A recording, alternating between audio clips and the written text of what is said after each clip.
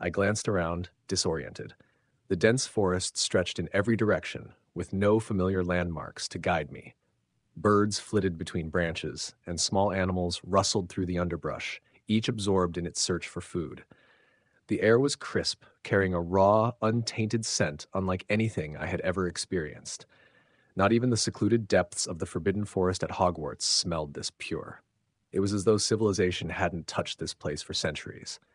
Of course, I couldn't have landed anywhere near a village, I muttered to myself, rubbing my temple in frustration. I quickly assessed my belongings. My shirt had been torn during the confrontation with Mundus, but with a flick of my wand, I conjured a new black shirt to cover my bare skin. My pockets contained a few essentials a burn paste, some murtlap essence, and a featherweight pouch filled with galleons for emergencies. At least I was somewhat prepared. As I scanned the forest for any sign of a path or a structure, Erebus, my sentient weapon, stirred with unease. There's something peculiar here, he murmured. The energy in this place, I've spent countless lifetimes mastering the currents of magic, but this feels different. It's familiar yet foreign at the same time. Are you saying we've lost control of our powers? I asked, pushing through the dense foliage. In the distance, a few deer stood grazing, but they quickly darted away as I approached. No, Erebus responded. Our abilities are intrinsic to us. They aren't reliant on the magic of the environment. What I mean is, we might encounter forces that behave differently than anything either of us has ever encountered before. I considered his words carefully. So you're saying that whatever we face here is bound by different rules, magic that operates on principles we've never seen? Precisely, he replied, his voice tinged with an unfamiliar hint of uncertainty. It's reminiscent of something I encountered long ago, yet it defies explanation. Give me time to examine the forces at play. Take all the time you need, I said with a sigh, adjusting my grip on my wand. I addressed Balthazar, my ever complaining viper companion, who had taken up residence against my arm for warmth. Stay put for now, Balthazar. It's too cold to waste energy on warming charms.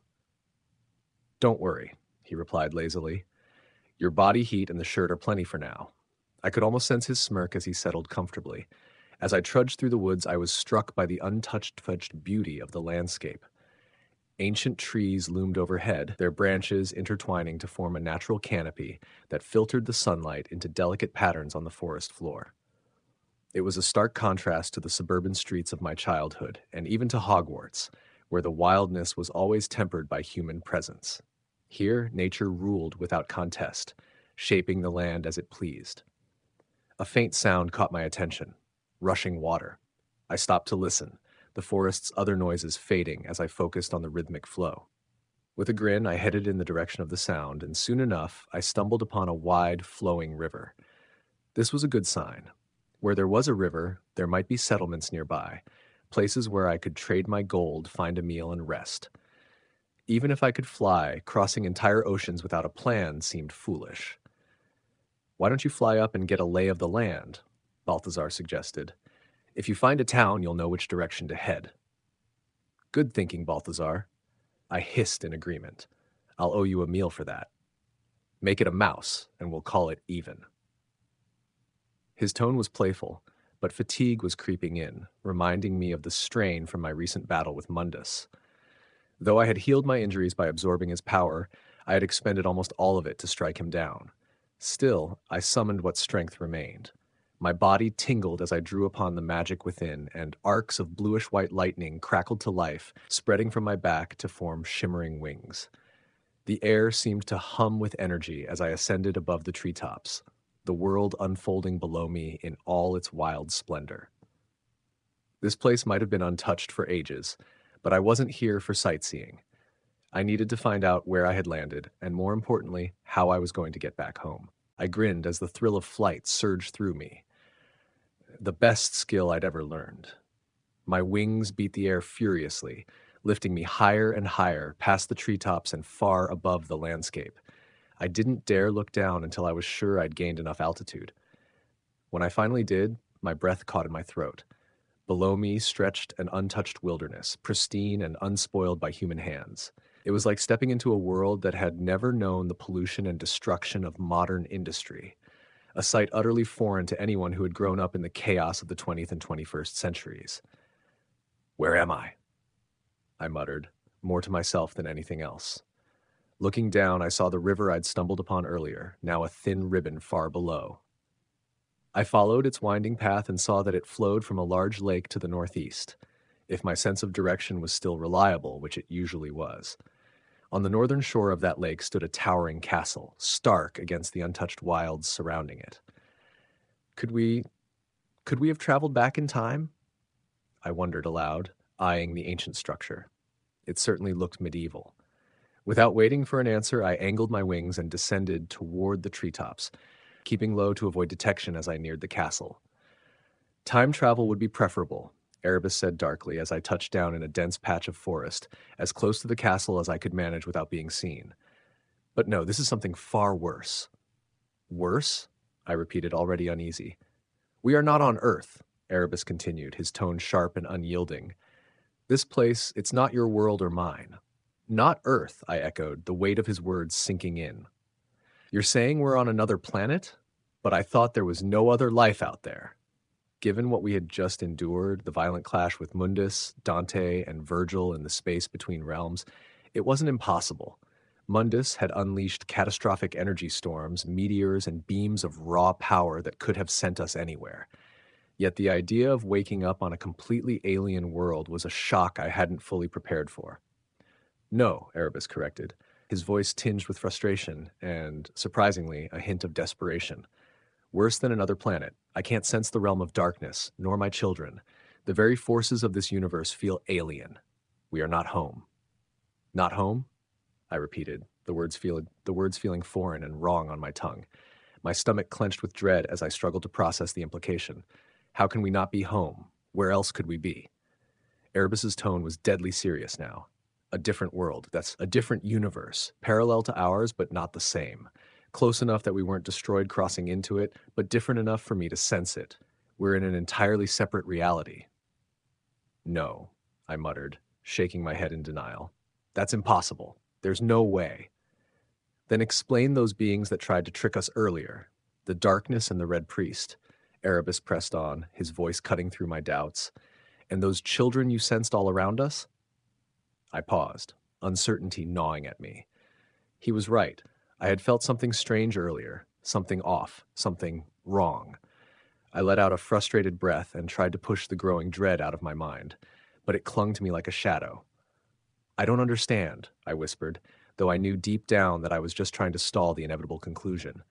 You do understand, Erebus growled. You just refuse to accept it. But the truth is staring you in the face. I, I started, then stopped. Closing my eyes, I reached out with my magic, letting a thin tendril of lightning connect me to the world around me. For a brief moment, I felt everything distant and foreign energies that didn't belong. The darkness far to the north, the strange presence of children nearby, the red priest to the east, and a man with many faces scattered around, concentrated heavily in the south. And all of them seemed aware of me, watching. I severed the connection quickly, heart pounding in my chest. You see now, don't you? Erebus asked softly. We are not home. He was right. Even with my limited experience sensing the energy of the world, I could feel how wrong this place was. The magic, the very essence of it, was skewed, unfamiliar. This wasn't Earth. It wasn't anywhere I'd ever known. I, I stammered, overwhelmed by the reality sinking in. What about everyone else? What about Sirius, Daphne, Ron, Hermione, the Weasleys? What about Dumbledore and Voldemort? I don't know. Erebus admitted. I've never heard of dimension travelers, only the existence of other dimensions. So, what? I snapped, feeling the panic rise in my chest. We're stuck here? Is that what you're saying? Yes, Erebus replied bluntly, his voice devoid of any comfort. And you'd better get a grip on yourself and figure out what comes next. I was stranded in an entirely new world, far from anyone and anything I'd ever known. Panic clawed at the edges of my mind, but I couldn't afford to break down now. Erebus was right. If I didn't get a hold of myself and adapt to this new reality, survival wasn't going to be possible. I was about to snap back at Balthazar, but a sigh escaped me.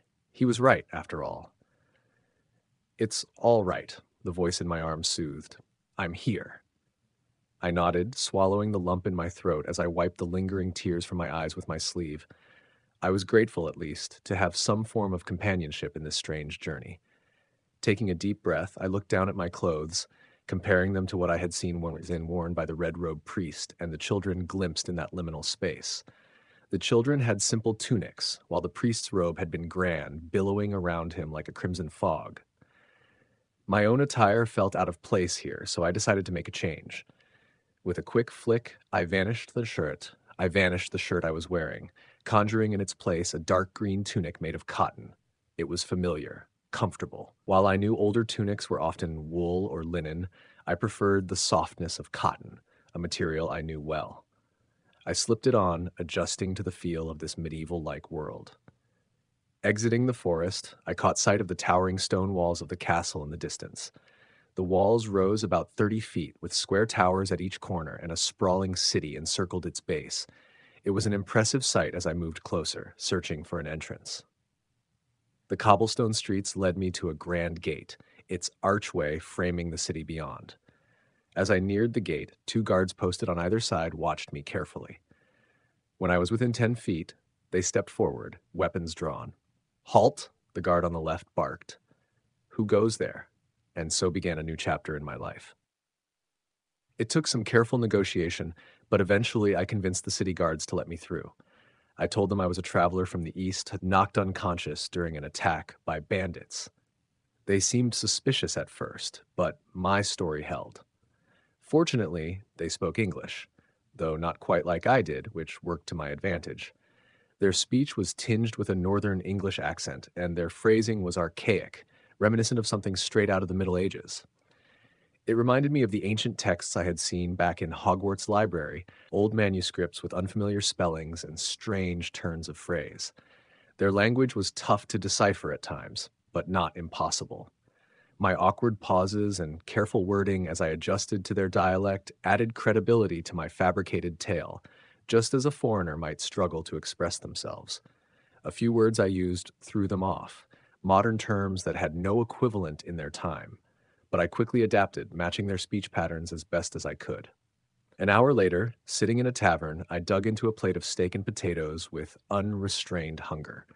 The owner, an older man with thinning gray hair and a thick, grizzled beard, had given me a strange look when I made my request. He seemed doubtful that a traveler like me could afford such a meal, but his eyes widened when I dropped a small stack of nuts onto the counter. The currency wasn't quite what they were used to, but the weight of metal seemed to be enough. As I ate, I reflected on how quickly I had adjusted to this place. It was strange, but I had no choice. The world I found myself in was far from the one I knew. If I were to survive, I'd need to blend in, not just with my words and attire, but with my very presence. Each new encounter here felt like a test, a challenge I had to navigate carefully. The road ahead was uncertain, but I could feel that something larger was at play, waiting for me just beyond the walls of this city. After some haggling and my assurances that the coins I had were genuine copper, the innkeeper accepted two of them and handed back the rest before heading to the kitchen to prepare the food. It was a relief to find someone with a sense of fairness. In unfamiliar lands, honesty can be a rare quality. As I took a bite of the meal, a potato that was still a bit undercooked I found myself lost in thought, barely registering the taste. My mind was preoccupied with how I had ended up here. The guards at the gate had called this place Torrhen Square. I pretended to recognize the name, feigning relief and gratitude until they let me through, likely out of pity for my bewilderment. But as for how I truly arrived here, it was during the clash with Mundus, the demon emperor, in the space between realms. Even though he had lost the battle, he managed to trap me there, thinking it would ensure his eventual victory. The memory made my hand tremble slightly. I could have been left to starve or worse, to exist endlessly in that void, cut off from everything and everyone I knew. It was impossible to know what would have happened if I hadn't acted when I did. To escape, I tore open a rift with Erebus, forcing our way into a realm that seemed to overlap with the one I came from. But could I replicate the process here? Before I could entertain that thought further, Erebus spoke up, his voice resonating within my mind. No, he said, the tone edged with amusement. The dark rift won't open a path back to our world. So it's truly impossible, I thought. I wouldn't say that, Erebus replied, but for now, we need to take stock of our situation and search for those who wield power in this world. They may hold the answers we need. Before I could ponder his advice, the sound of approaching footsteps interrupted my thoughts. Turning, I saw a group of men eyeing me and the pocket from which I had drawn the coins earlier. Clearly, they had heard the jingle of money. A bunch of thieves? Here? I couldn't help but smirk. Even if they dared to make a move, my pocket was protected by enchantments that would only yield to me. It would take more than a common pickpocket or even a capable wizard if they existed here to bypass that. Can I help you? I asked, keeping my voice light as I continued chewing on the potato, giving the impression that I wasn't the least bit concerned. One of the men scratched his head and glanced at his companions, then at the innkeeper, who shot him a stern glare. The man quickly backed off, muttering something under his breath. The boldest fool I've seen in a while, I said, half smiling despite the heaviness of my situation. Trying to rob someone in broad daylight. The innkeeper chuckled. I wouldn't judge him too harshly. Um, he hesitated, clearly unsure of my name. Harry Potter, I supplied, seeing no reason to use an alias here. Never heard of a house potter, the innkeeper remarked, scratching his chin thoughtfully. You from the Westerlands, then? Not having the faintest idea what he was talking about, I shook my head. No, I come from a distant land in the east. I'm here to learn about the cultures of this continent. The innkeeper seemed satisfied with the answer. Well, then, I'll prepare a dish that's a personal favorite of mine for later. I assume you'll be needing a room for the night? I will, I confirmed. There wasn't exactly a wealth of other options for me. Twenty five coppers a night, he said though your currency is different from what we use here. I winced slightly. Is there somewhere I can exchange my coins for your your local currency? Ah, yes, he replied, stroking his beard as he thought. In the market square near the center of town, take a right when you leave the inn and walk straight ahead. There's a traveling tradesman who sets up a cart there, calls himself the collector. I resisted the urge to grimace. A man with a title like that was almost certainly a swindler who would take full advantage of my ignorance. Just get a few of their coins, Erebus interrupted my thoughts, so I can understand the design. I'll manage the conversion for you. The suggestion brought some relief, and I nodded to the innkeeper, dismissing him before finishing the last bites of my meal.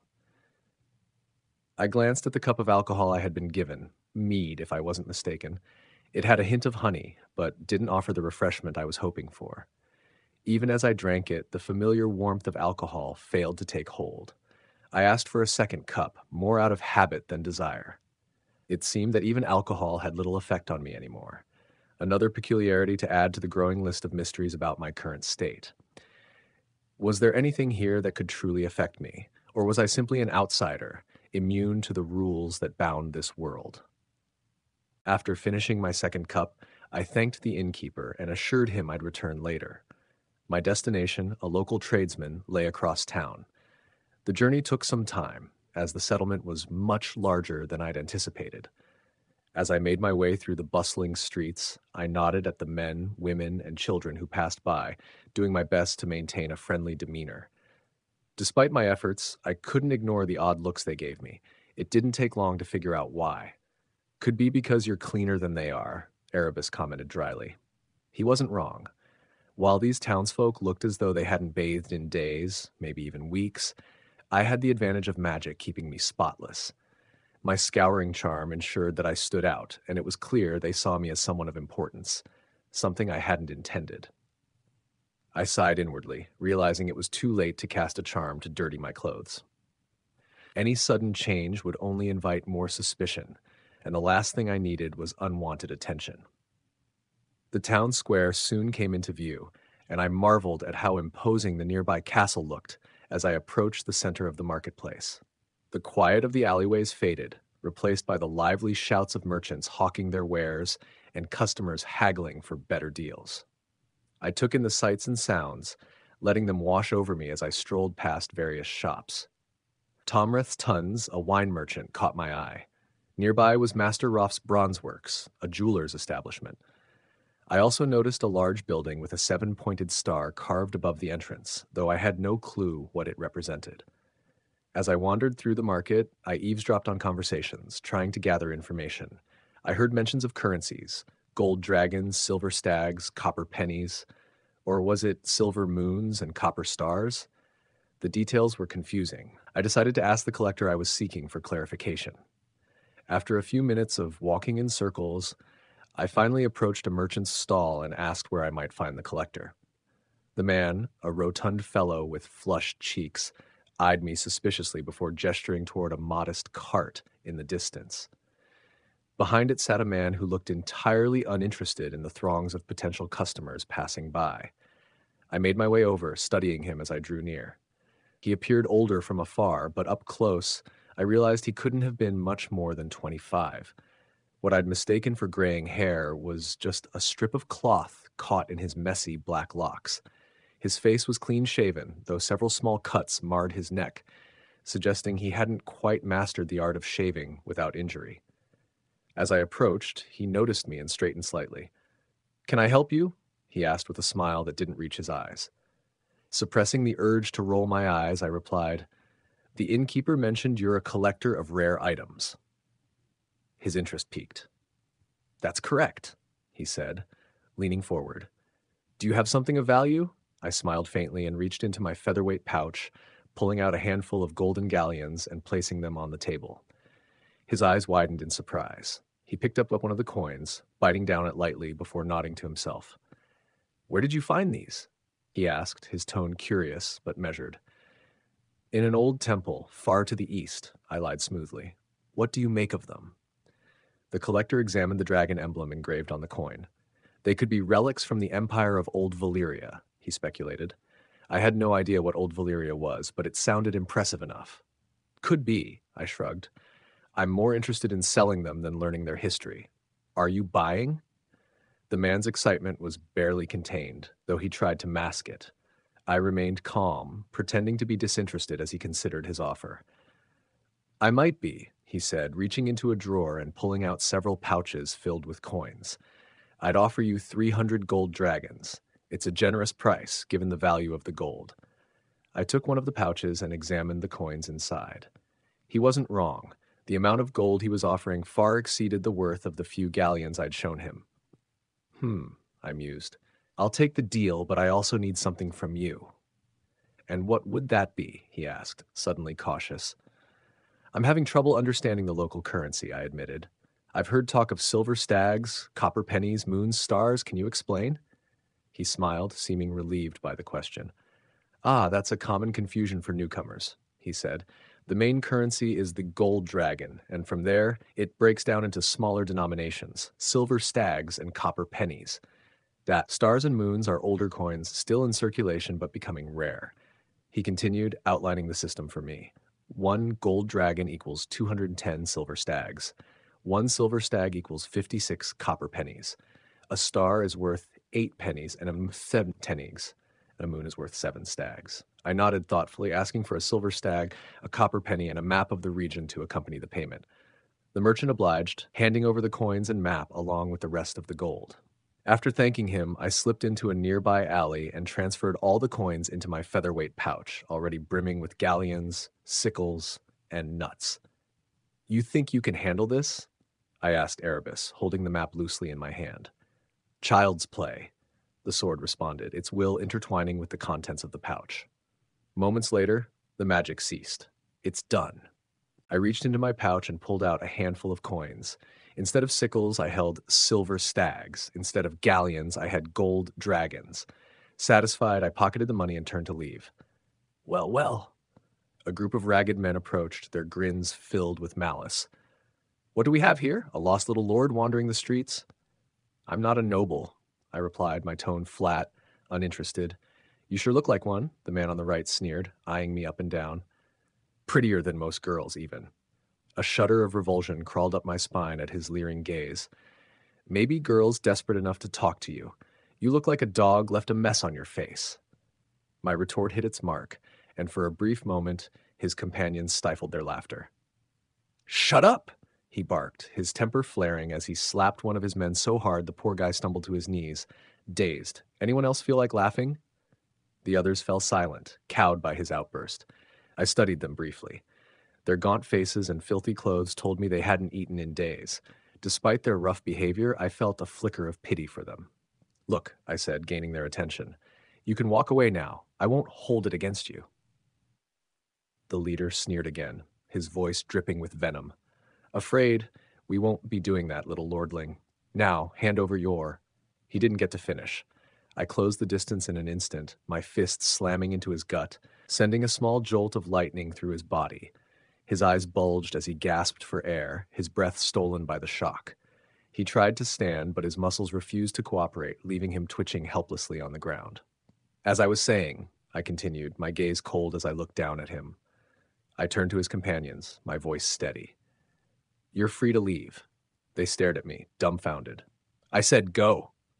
I snapped, and like startled animals, they scrambled away, vanishing into the shadows. I chuckled at the absurdity of it grown men fleeing from a boy barely 16. Then I noticed movement. The leader, still incapacitated, was attempting to crawl away, dragging himself pathetically across the cobblestone. I stepped on his leg, pressing down hard. He yelped in pain, his voice filled with desperation. Please, my lord, I swear I won't do it again.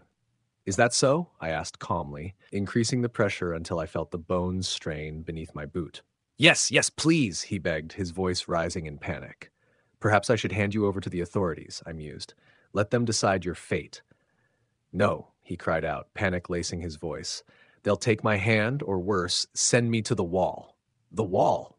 I asked, curious now. Explain. The man hurriedly described a massive wall of ice far to the north, over 700 feet tall, if his words were to be believed. He spoke of a place where criminals, outcasts, and the unfortunate were sent to guard the realm from savage tribes known as the Wildlings. Life as a man of the Night's Watch, he explained, was a miserable one, devoid of glory, inheritance, or family. Desertion meant death. Please, my lord, he continued to beg. Show mercy. I rolled my eyes and released his leg. Go on, then. Thank you, my lord. He attempted to kiss my feet, but I kicked him aside in disgust. Just go, I growled. You disgust me. As he scurried off, I made my way back to the inn. Inside, a bard had begun playing a soft tune on an instrument that looked like a distant ancestor of the guitar. The innkeeper, a man in his fifties with a graying beard, nodded as I approached and placed seven silver stags on the counter. This should cover my stay for a few weeks, I assume? I said. The innkeeper nodded, pocketing the coins. Indeed, I'll have my son show you to your room. Edmund. He called out, and after a moment, a voice replied, Coming. The sound of footsteps followed, and soon a boy about my age appeared, moving past the bard. He glanced at me briefly before turning to his father. Yes, father? Take this man to the top room, the innkeeper instructed, waving him off. Edmund nodded and turned to me. Follow me. I followed the boy up several flights of stairs, the bard's music growing fainter with each step. Eventually, we reached a door at the top. Edmund pulled a key from his pocket and unlocked it, pushing the door open. The room was modest a simple bed, a table, a chair, and a small window overlooking the street. A chamber pot sat in the corner, which, despite its necessity, filled me with mild disgust, but I could deal with that later. The room was private, which was all I truly needed. Dinner will be served in an hour if you'd like to join us, my lord, Edmund said after a moment of silence. I'm not a lord, I corrected. And it's Harry, not my lord. He blinked, relief flooding his face as his posture relaxed. Ah, yes. Sorry. You seem tense, I noted. Are the lords here not kind to you? Edmund hesitated before replying. It's not that they're cruel, it's just they're lords, you know? They act like they're better than you because of their birth, I guessed, and Edmund nodded, grateful for my understanding. Yeah, he agreed, exactly. Well, like I said, I'm no lord, just Harry. I extended my hand. After a moment of hesitation, Edmund grinned and gave it a firm shake. I'd be glad to join you all for dinner, I said, setting the map on the table and unfurling it before taking a seat. I glanced at the boy who had been waiting expectantly. Just as soon as I finished my work. The boy blinked as if snapped out of a daydream. Oh, he exclaimed, looking sheepish. I forgot to tie up one of the customer's horses. With that, he dashed out of the room. I chuckled and shook my head, locking the door behind him. Turning my attention back to the map, I studied it closely. If there had been any doubt about the strange nature of this place, the map dispelled it. The names and layout didn't match any place I recognized. Yet the map was written in English, a strange comfort that suggested this world wasn't entirely alien.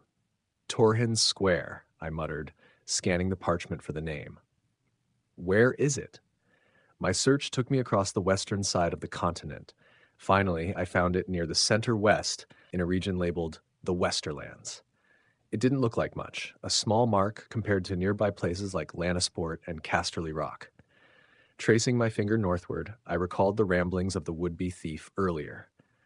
He had spoken of a massive wall to the north that held back all manner of dangers. Sure enough, there it was, a thick white line stretching across the northernmost part of the map, labeled simply as the Wall. Below it lay scattered names like Winterfell, White Harbor, and finally Torrhen's Square. So this was the North. What kind of name is the North anyway? I scoffed, rolling my eyes. What's above the wall then? The even more north? The real north? At least now we know our location, hissed Balthazar, breaking his long silence. Fair enough, I replied in the same serpentine tongue before switching back to English. Now the question is, what's the plan? The objective remains unchanged, Erebus, my sentient sword, spoke in my mind. We need to find a way back to our own realm. I nodded. That much was clear. To do that, Erebus continued, we must gather information. I suggest starting with the marketplace, a bookshop if one exists. We need to learn more about this wall and the lands it separates. That makes sense, I agreed. The thief said the wall was built to keep out tribes from beyond, but you don't build a 700 foot wall just to fend off some ragtag clans with spears. Precisely, Erebus replied.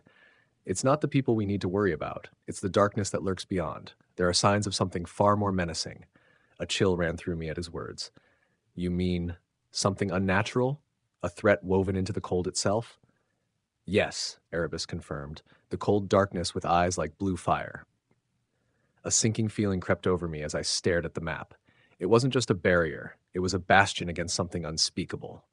If that's true, I breathed, then whatever it is might be bound to that frozen expanse. The wall stands as the only thing separating us from it. Just don't call it the North North, Balthazar interjected, sounding exasperated. Why not? It's straightforward. North of the North, it fits, I argued, stifling a grin as I felt the scales on my right arm twitch with agitation. It's ridiculous, Balthazar retorted. I didn't learn multiple languages to indulge in such nonsense. It's beneath us. Well, it's decided. I hissed back with finality, half expecting Erebus to chime in with a sarcastic remark. Yes. Uh, naturally, Erebus intoned dryly. The North North could indeed be the origin of this dark power. Ignoring Balthazar's ongoing protests, I continued to study the map, shifting my focus to the southern regions. A vast desert expanse labeled Dorne stood out at the continent's lower edge. Do you suppose the mysterious red priests hail from there? It's plausible, Erebus replied, Though we can't be certain, it could just as easily be somewhere in the eastern lands. Deserts are hardly scarce on this map. I cursed under my breath, frustrated by how little I understood. You're right, I admitted. We're grasping at straws. We need more information. That's exactly why I insist we find a place where we can learn about this world's history, its power structures, and key figures, Erebus pressed. We're at a disadvantage until we know more. I gave a resigned nod rolling up the map and tapping it with my wand to shrink it for easier carrying. There was much to unravel, and not just about the wall or the distant deserts. A third faction lingered at the back of my mind children I had glimpsed during my last encounter. They seemed harmless enough, but the most innocent seeming things often concealed the greatest dangers. I had learned that the hard way. How often had the least threatening turned out to be the most treacherous? Take Wormtail, for instance, an unassuming rat who fooled everyone, costing my godfather over a decade in Azkaban and my parents their lives. Shaking off those thoughts, I stowed the map in my pocket and made for the door. There was work to be done, and not the kind that could be accomplished with a wand alone. It would involve hours of research, something I'd grown to dread, but it was unavoidable. For now, though, I needed food and rest. The journey to the so called North North would be grueling, and I would need every ounce of strength to face what lay ahead. Ferd, we are not calling it the North North. Balthazar insisted one last time, his indignation almost comical. I chuckled to myself, leaving the room with a small, defiant smile. A week had passed since my arrival in this unfamiliar world, and despite my initial hesitation, I had followed Erebus's advice and buried myself in research. I needed to survive, after all, and that meant understanding the intricacies of this land. My afternoons were spent poring over dusty tomes while Balthazar lounged lazily nearby. Each page turned was a distraction from the thoughts that kept pulling me back to the people I'd left behind. Every so often, my gaze would drift toward the doorway, half expecting to see familiar faces, Sirius, Remus, or Daphne, standing there. But no one came. They were gone, and if I failed, I would never see them again. That thought alone drove me forward. I threw myself into the history of this strange continent, which was more engaging than the history lessons at Hogwarts ever were. Perhaps it was because there wasn't a droning ghost to put me to sleep, or perhaps the stakes were higher here. Either way, I read on, trying to understand the land that had become my new reality. The earliest inhabitants of Westeros, I learned, were the Children of the Forest, a mysterious race with supernatural abilities, though the specifics remained unclear. Alongside them were giants, another ancient race. These beings lived in harmony with the land, hunting and farming, and they worshipped nameless gods of nature. They carved faces into bone white weirwood trees with red leaves, a practice I found particularly curious. The carved faces felt familiar, perhaps a connection to the entities I'd encountered in the void during my confrontation with the deities. I had no doubt they were related. Then came the first men, invaders from the eastern continent of Essos. They crossed into Westeros through a land bridge known as the Arm of Dorne, which the Children of the Forest later destroyed with magic in a desperate attempt to halt the invasion. A centuries long war ensued between the two peoples until they eventually reached a pact at the Isle of Faces. This event ushered in the Age of Heroes, a period of fragile peace. The Wall, one of the nine man made wonders of the world, was built sometime after this pact. Its sheer scale was staggering 300 miles long, 700 feet high, and wide enough for knights to ride side by side along its top. Constructed of solid ice and stone, it was designed to keep out the mysterious and deadly race known as the Others, or White Walkers, creatures of ice with blue, star like eyes and the ability to raise the dead. Their descriptions were eerie, but I couldn't dismiss them. I'd seen something similar in the void, confirming their existence despite the historical records claiming they hadn't been seen in over 8,000 years. The wall was more than just a barrier, it was a symbol of an ancient struggle. It had been erected by Brandon the Builder with the help of the children of the forest and the giants to protect the realm from the others after the long night, a winter that lasted an entire generation, bringing famine and death. The combined forces of the children, first men, and even giants had pushed the others back, but the legend of their return lingered like a ghost over the land. The men who defended the wall, the Night's Watch, lived a bleak existence, abandoning their homes, families, and even their identities to protect the realm. These soldiers were bound to a life of celibacy and sacrifice, watching over the northern borders for threats that most believed had long since vanished. Yet I knew better. The threat was real, lurking beyond the wall's icy expanse. As I continued to read, the history of Westeros began to unfold in waves of conquest and bloodshed. After the long night, Peace reigned for a time until a new threat emerged the Andals, a warrior people from the east, bringing with them superior steel weapons and a new religion. The Andals swept through the southern kingdoms, destroying the sacred weirwood trees and eradicating the children of the forest. The first men fought back, but they were no match for the Andal steel and military might. Only the north resisted, aided by the treacherous swamps of the Neck and the fortress of Moat Cailin, where entire armies were swallowed by the bogs. The North, isolated and protected, maintained its loyalty to the old gods, the nameless, faceless deities of nature. Meanwhile, the rest of Westeros embraced the Andal religion, the faith of the Seven. This new faith, with its seven divine aspects, seemed overly structured to me, a stark contrast to the elemental and mysterious old gods. The seven were more like avatars of a singular deity, each representing a different facet of life the father for justice, the mother for mercy and childbirth, the maiden for innocence and beauty, the crone for wisdom, and so on. It was during the Andal conquest that I realized just how fragile human civilization could be. Kingdoms rose and fell, not through innovation or diplomacy, but through war, coercion, and marriage alliances. It was a harsh reminder that power here was fleeting, shaped by brute force and survival instincts. Barbaric though it was, this cycle of conquest and destruction had defined Westeros for centuries. The book closed with the near extinction of the children of the forest and the consolidation of Andal rule across most of the continent. Yet the North remained distinct, a place where the old ways endured, a land bound by its ancient gods and rugged traditions.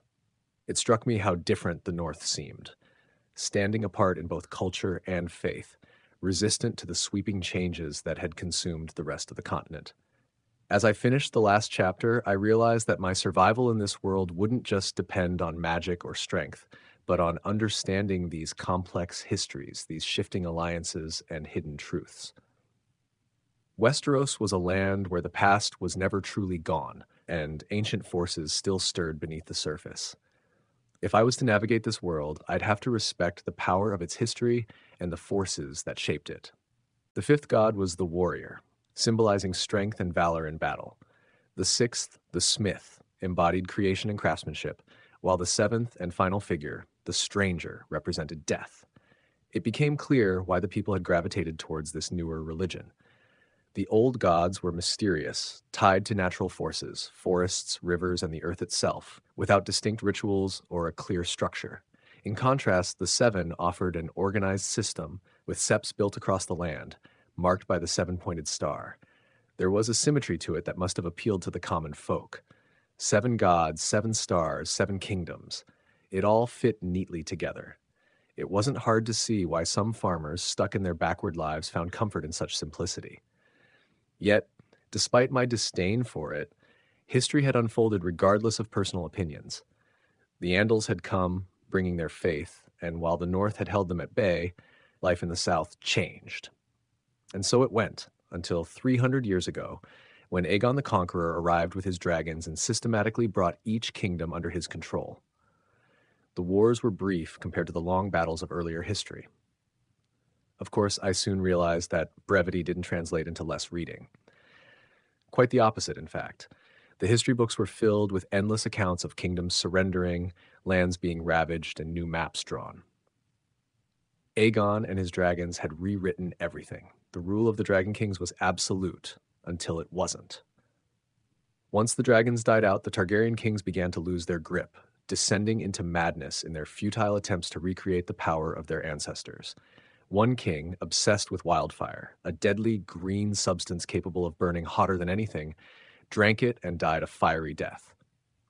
Then there was King Aerys II, the infamous Mad King, who used wildfire to burn his enemies alive.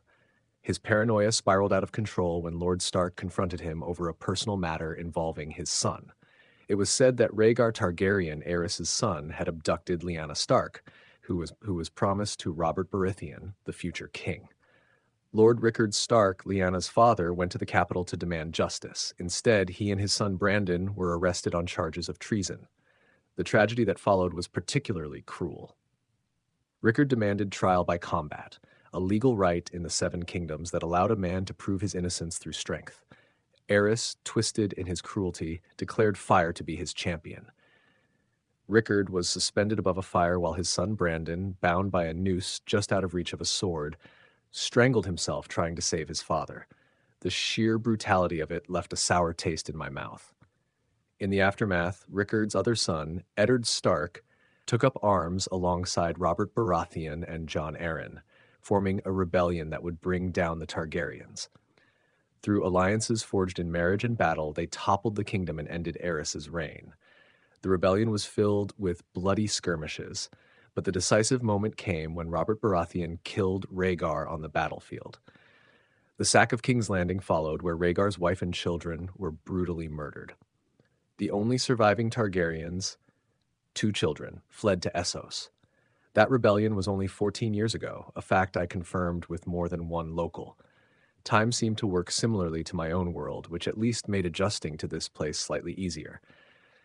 Still, it didn't soften the sting of being torn away from everything familiar and thrown into this chaotic land. I closed the book with a sigh, leaning back in my chair as it creaked under my weight. What am I supposed to do? I muttered to no one in particular. My thoughts wandered to Daphne. The last time I saw her, I had made her cry, and the memory gnawed at me. She probably thought I had died hating her, but that couldn't be further from the truth. Damn it! I furiously wiped away the tears that threatened to spill. I had to stay strong, but could I really return? Was there a way to open a rift between worlds? Uncertain, Erebus whispered from within, careful not to disturb the slumbering viper on the bed. Our passage succeeded because we were already in the in between. What if I tried opening a dark rift now? I asked, pacing in frustration. Nothing would happen, Erebus replied calmly. I cannot sense the dark realm here. You cannot open a door to a place that does not exist in this world. I grabbed my sword and slashed at the air, hoping for something, anything, but as Erebus had warned, nothing happened. A wave of frustration washed over me. I told you, Erebus said gently, though I could sense his own wariness. Uh, he, too, had been uprooted, and his timeless existence must have made the shock even more profound.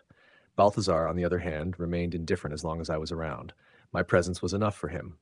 Yeah, I had to try, I muttered, sheathing Erebus again. What are the chances of finding some kind of magical artifact that could get us back? Extremely low, Erebus admitted. It wasn't what I wanted to hear. To distract myself from the bleakness of that realization, I spent the rest of the day wandering the town, eating and reading more of the history books. Anything to drown out Erebus's ominous words. I even left both Balthazar and the sword in my room, trying to escape their weight.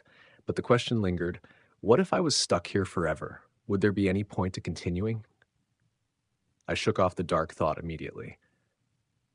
Giving up wasn't an option. I was stronger than that. When I returned to the inn, I let the innkeeper recommend dinner, which turned out to be rabbit stew.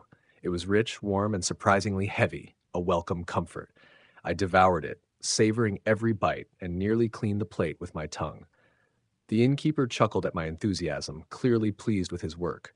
For a moment, as the stew warmed me from the inside, the weight of my predicament lessened. But only for a moment. After leaving a few coppers on the counter, I returned to my room, my thoughts now aligned. As I shut the door behind me, Erebus, my loyal black serpent, coiled around my torso and settled on my shoulder with a familiar hiss. Have you decided on our next move? Erebus asked directly, his straightforwardness always a welcome change from the usual small talk. Yes, I replied, taking out an old book titled The Lost Kingdoms of Valyria by some long dead scholar. Euristex, I don't think returning home is likely, but we'll keep searching. In the meantime, there are more pressing matters. I set the book aside, continuing, The king is supposedly riding north to Winterfell. I plan to be there when he arrives. It's the best place to start gathering information, and then I'll continue north to the wall. Very well, Erebus acknowledged. When shall we depart? Tonight, I said, deciding on the spot. I'll purchase a horse and follow the main roads. Pat, have you ever ridden a horse before? Balthazar, the spectral voice within, inquired as he nudged his presence closer to my thoughts. No, I admitted, but I've flown on a hippogriff. How different can it be? I spent the remainder of the day bidding farewell to the few acquaintances I had made Torwind, the elderly bookseller, Edmund, the innkeeper's son, and the collector in the market. Purchasing a horse was a straightforward affair. The stable master was eager to part with the unruly black stallion, saying that the beast had thrown every rider who tried to mount him. But when I approached, I treated him like I would a hippogriff, bowing first, and surprisingly, he dipped his head in return. The stallion was a striking creature with a deep black coat and a wild mane that seemed to ripple with every step. There was a raw strength in him, but also a calmness when we connected. It felt as though we recognized something kindred in each other, a kind of wild spirit tempered by experience. I led him to the edge of town and let him graze while I ate my own meal. We should give you a name, I mused, feeding him a carrot. Something fitting for a creature of your stature. Erebus's voice cut in with a suggestion. There was a legendary horse, Geryon, said to gallop with the speed of lightning, his mane burning like blue fire. It would suit a beast of such spirit. Geryon, I repeated, letting the name settle on my tongue. Turning to the horse, I asked, What do you think of that? The stallion paused in his chewing and gave a small nod, almost as if he understood the question. Wizards often spoke of animals showing signs of intelligence around them, but this seemed some- something more. All right, Geryon, it is. I said, stroking his neck. Geryon, the black steed. With Geryon named, I mounted him and started down the King's Road, maintaining a steady trot. The miles stretched ahead, and though the journey would take several days, I had an idea to speed things up. I stopped Geryon by the roadside, channeling a small pulse of magic into him, willing it to enhance his strength rather than harm him. Geryon's reaction was immediate. He reared up with a spirited cry before settling into a gait that covered ground at a remarkable pace. At this speed, we could reach Winterfell in far less time than anticipated. We raced past villages and hamlets, the chill of the night air invigorating both horse and rider. After several hours, I brought him to a halt by a small copse of trees for a break. Geryon showed no signs of fatigue, his eyes bright and eager for more.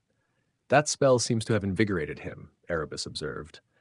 Seems that way, I agreed, stepping away to take care of business behind a tree. Why do you always distance yourself for this? Erebus inquired, the question more curious than mocking. Because there are things a man prefers to do in private, I answered, shaking my head. Some lines just aren't meant to be crossed. Humans and their strange rituals, he muttered. As I mounted Geryon once more, I cast a glance northward, where the wall loomed in my mind's eye, a distant boundary, a frontier separating the known from the unknown. Uh, I didn't know what I would find there, but the mysteries waiting to be unraveled held a magnetic pull. There was something about pushing into the wilderness, confronting what lay beyond civilization, that felt like the beginning of a much larger journey. Onward, Geryon, I murmured, guiding him back onto the road. Let's see what the North has in store for us. The rest of the journey passed in silence, the steady rhythm of the horse's hooves blending into the quiet of the northern wilderness. I had to lend Geryon a bit more power, just enough to keep up the pace, though I knew it was far more efficient than relying on flight. Riding horseback through this landscape, especially with Geryon's enhanced speed, made me realize how impractical constant use of magic could be. Besides, there was something grounding about traveling on solid earth feeling the cold wind whip across my face as we ventured further north. As we rode on, the weather grew harsher. The chill in the air bit deeper, and the winds grew more unforgiving with each passing mile. By dawn, we crested a large hill, the sun casting a soft light over the land below. I decided it was a good place to rest. With a few simple warming charms, the biting wind no longer bothered us tonight, and we could take in the view. From the top of the hill, the distant outline of a massive fortress came into view, its walls towering high above the mist. Even from this distance, the sheer size of it was unmistakable Winterfell, the ancient seat of House Stark. The walls stretched high, weathered by time, but still standing, formidable and enduring. It was clear this place had seen countless battles, its worn exterior telling the story of centuries of resilience. And yet, Despite its age and imperfections, Winterfell had a quiet strength, as if it was as much a part of the land as the forests and mountains surrounding it. The red leaves of a single tree caught my eye, a weirwood unmistakable even from here. The ancient tree stood tall within the castle's walls, a symbol of the old gods and the deep history that permeated this place. So this is Winterfell, I muttered, allowing myself a brief moment of appreciation before preparing to descend the hill and make my way toward the castle. The journey down was uneventful, and soon enough I reached the gates of Winterfell. The guard stationed at the entrance was stern, but not hostile. State your reason for entry, he demanded, though his tone lacked any real suspicion. Just a traveler, I replied, raising my hand slightly to show I meant no harm. I heard the king was on his way to Winterfell while I was passing through Torrhen's Square. I wanted to be here when he arrived. The guard gave me a skeptical look, probably assuming I was just another commoner drawn by the prospect of seeing royalty. All right, he muttered, stepping aside and allowing me to pass. Winterfell was as vast as it appeared from the outside, its massive granite walls encircling an extensive complex of courtyards, towers, and buildings. The outer wall stood slightly lower than the inner, but both were imposing, easily towering 70 feet or more. A wide moat lay between the walls, likely more of a symbolic barrier than a functional defense in these peaceful times. Despite the absence of active soldiers, I could see the remnants of siege defenses, narrow platforms and parapets where archers could have once rained arrows down on attackers. Now, these fortifications stood empty, serving as little more than a playground for a group of children chasing each other around the grounds. I smiled faintly at the sight of the children, two boys and a girl, accompanied by large animals that I couldn't quite distinguish as either wolves or dogs. It was a simple scene, but one that added life to the cold stone of the castle. Turning away, I headed toward the stables, where the unmistakable sound of hammering steel caught my ear. A quick glance revealed a blacksmith hard at work, the rhythmic clanging of his hammer almost hypnotic. As I approached the stables, I was greeted by a man of considerable size, shoveling hay with ease. He was not as massive as Hagrid, but he was certainly a giant in his own right. His simple expression and wide grin made him seem almost childlike, despite his obvious strength. Hello, I greeted him with a smile. You're the stable hand? The man returned my smile his voice booming as he replied, Hodor. I blinked in confusion. Hodor, is that your name? Hodor, he repeated, nodding and pointing to himself. Ah, I see, I said, chuckling softly. Well, it's nice to meet you, Hodor. He grinned, clearly pleased with the exchange, and gestured toward the stalls. Hodor, he said, as if inviting me to leave my horse there. I patted Geryon on the neck and led him to an empty stall. Don't cause any trouble, all right? I warned the horse, though I knew Geryon could be difficult at times. He snorted in response, clearly unimpressed with my instructions. Before leaving the stables, I turned back to Hodor. Do I owe you anything for the stall? Hodor shook his head, still smiling broadly. Thanks, Hodor. I appreciate it.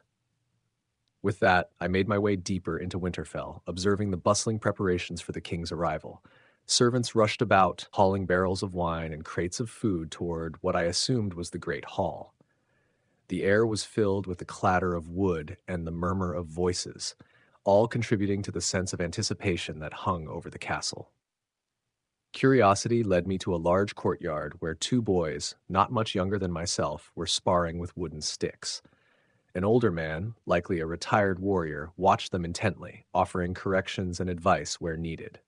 His grizzled appearance suggested he had seen his fair share of battles, though his age hadn't diminished the sharpness in his eyes. Next to him lay two large dogs, one with smoky gray fur and piercing yellow eyes, the other white as snow with striking red eyes. I watched for a moment, taking in the scene. Winterfell, with its ancient walls and enduring traditions, felt alive in a way that few places did. The past, present, and future seemed to coexist here, woven together in the stone, the people, and the land itself. I turned away from those familiar red eyes. Red always reminded me of someone I'd rather forget. Before me, two boys sparred intensely. The first had auburn hair and blue eyes, strong and solid in his build, while the second, with dark brown hair and gray eyes, was lean and quick, relying on agility more than brute strength. They traded blows with determined ferocity, neither willing to back down. I couldn't help but smirk. Though I had no formal training in swordsmanship, I knew I could easily take them both down. A voice interrupted my thoughts. Not good enough for you, huh? A young man, maybe 18 or 19, stood to my right. He sounded arrogant. You think you can do better? I glanced at him. I don't think I can do better, I replied, letting him smile smugly for a second before continuing. I know I can. The smirk vanished from his face. Prove it then, he barked loudly, catching the attention of the sparring boys, at an older warrior watching over them and a few passers-by. A duel between us. Let's see if you're as skilled as you claim. I frowned slightly. One should offer their name before issuing a challenge. Theon, of House Greyjoy, he said proudly, straightening up as if that should impress me. And you? Harry, of House Potter, I responded casually, fully aware that my name would mean nothing to anyone here. House Potter? Theon sneered. Some forgotten southern family of potters? Actually, I'm from the east, I corrected. And no, we don't make pots, we make swords. He eyed my weapon. You made that sword then? Looks a bit small, doesn't it? It's not the size of the sword that matters, I replied with condescension that I knew would irritate him. It's the skill of the one holding it. The older warrior chuckled, drawing both our attention. Well said, lad. So are you ready for a fight? I nodded, making my way to the center of the sparring area as the two boys eagerly stepped aside. It seemed watching a match was just as exciting as participating in one. I laid my sword on the ground, and one of the boys tossed me a wooden practice sword, while the other handed one to Theon. We squared off, standing only a few feet apart. Theon gave me a cocky grin, clearly confident in his victory. He was older, bigger, and likely assumed he had more experience. The old warrior called out, Ready? We both nodded. Begin! Theon lunged at me immediately, his strike aimed at intimidating me into submission. I could tell he expected to overwhelm me with his speed and aggression, but I simply sidestepped his attack, and as he stumbled forward, I slapped him hard on the rear. He yelped, losing his balance and falling face first into the dirt. The two boys erupted in laughter, and even the older warrior allowed a brief smirk to cross his face before returning to his usual stern expression. Theon, red faced with embarrassment, climbed back to his feet without a word and attacked again. He had earned some respect for not backing down, but I still intended to thoroughly defeat him. I dodged and parried his strikes, blocking where necessary, but never retaliating. As the fight dragged on, it became clear to him that I wasn't taking it seriously, and frustration set in. His swings grew more erratic, missing even when I stood still. Fight back, you coward, he shouted, wildly swinging again. That was the moment I was waiting for. In a single fluid motion, I blocked his strike, swept his legs out from under him, and placed my practice sword against his throat as he hit the ground. He looked up at me, fury in his eyes, but there was nothing he could do. Do you yield? I asked, my voice calm and deliberate. A tense few moments passed before Theon muttered, Yes, I yield. I withdrew my sword and extended a hand to help him up. He hesitated, but eventually took it, standing and brushing the dust off. You're really good, a small voice called out. It was the young girl I had noticed earlier, watching from the sidelines with bright eyes. Theon scowled at her but said nothing, handing the practice swords back to the older man. I smiled at her. I think Theon took it easy on me, I said, playing it down. That seemed to soothe Theon's bruised ego, though the others looked at me with disbelief. The older warrior, however, understood my intent. The girl frowned at being called little, but it only amused me further. Kids always had a way of getting under my skin in the most entertaining ways. Anyway, I said, retrieving my sword, I apologize for interrupting your training. I'm sure your students would like to continue. It felt strange speaking so formally, but I figured the language of my own world would confuse them more than anything. Think nothing of it. Er. The older warrior trailed off, unsure how to address me. Harry is fine, I said with a smile, shaking his hand. His grip was firm. I'm no lord, just a traveler passing through. Sir Rodrik Cassel, the man introduced himself, Master at Arms of Winterfell. Master at Arms? That explained why someone of his status was training a group of children. I glanced at the kids, then back at Sir Rodrik, feeling slightly uneasy. Don't worry, lad, he said, clapping a hand on my shoulder. No one gets punished for winning fairly. Good, I replied, relieved. That's good, thank you. It wouldn't have been ideal to fight my way out of here if the local lord's children took offense to losing. Sir Rodrik then introduced me to the rest of the group, and we exchanged pleasantries. The auburn haired boy was Robb Stark, heir to Winterfell. The other boy was Jon Snow, labeled a bastard, a term that clearly bothered him. I could tell Jon expected me to judge him, but I shook his hand with a grin and suggested we spar later. His surprise turned to a smile.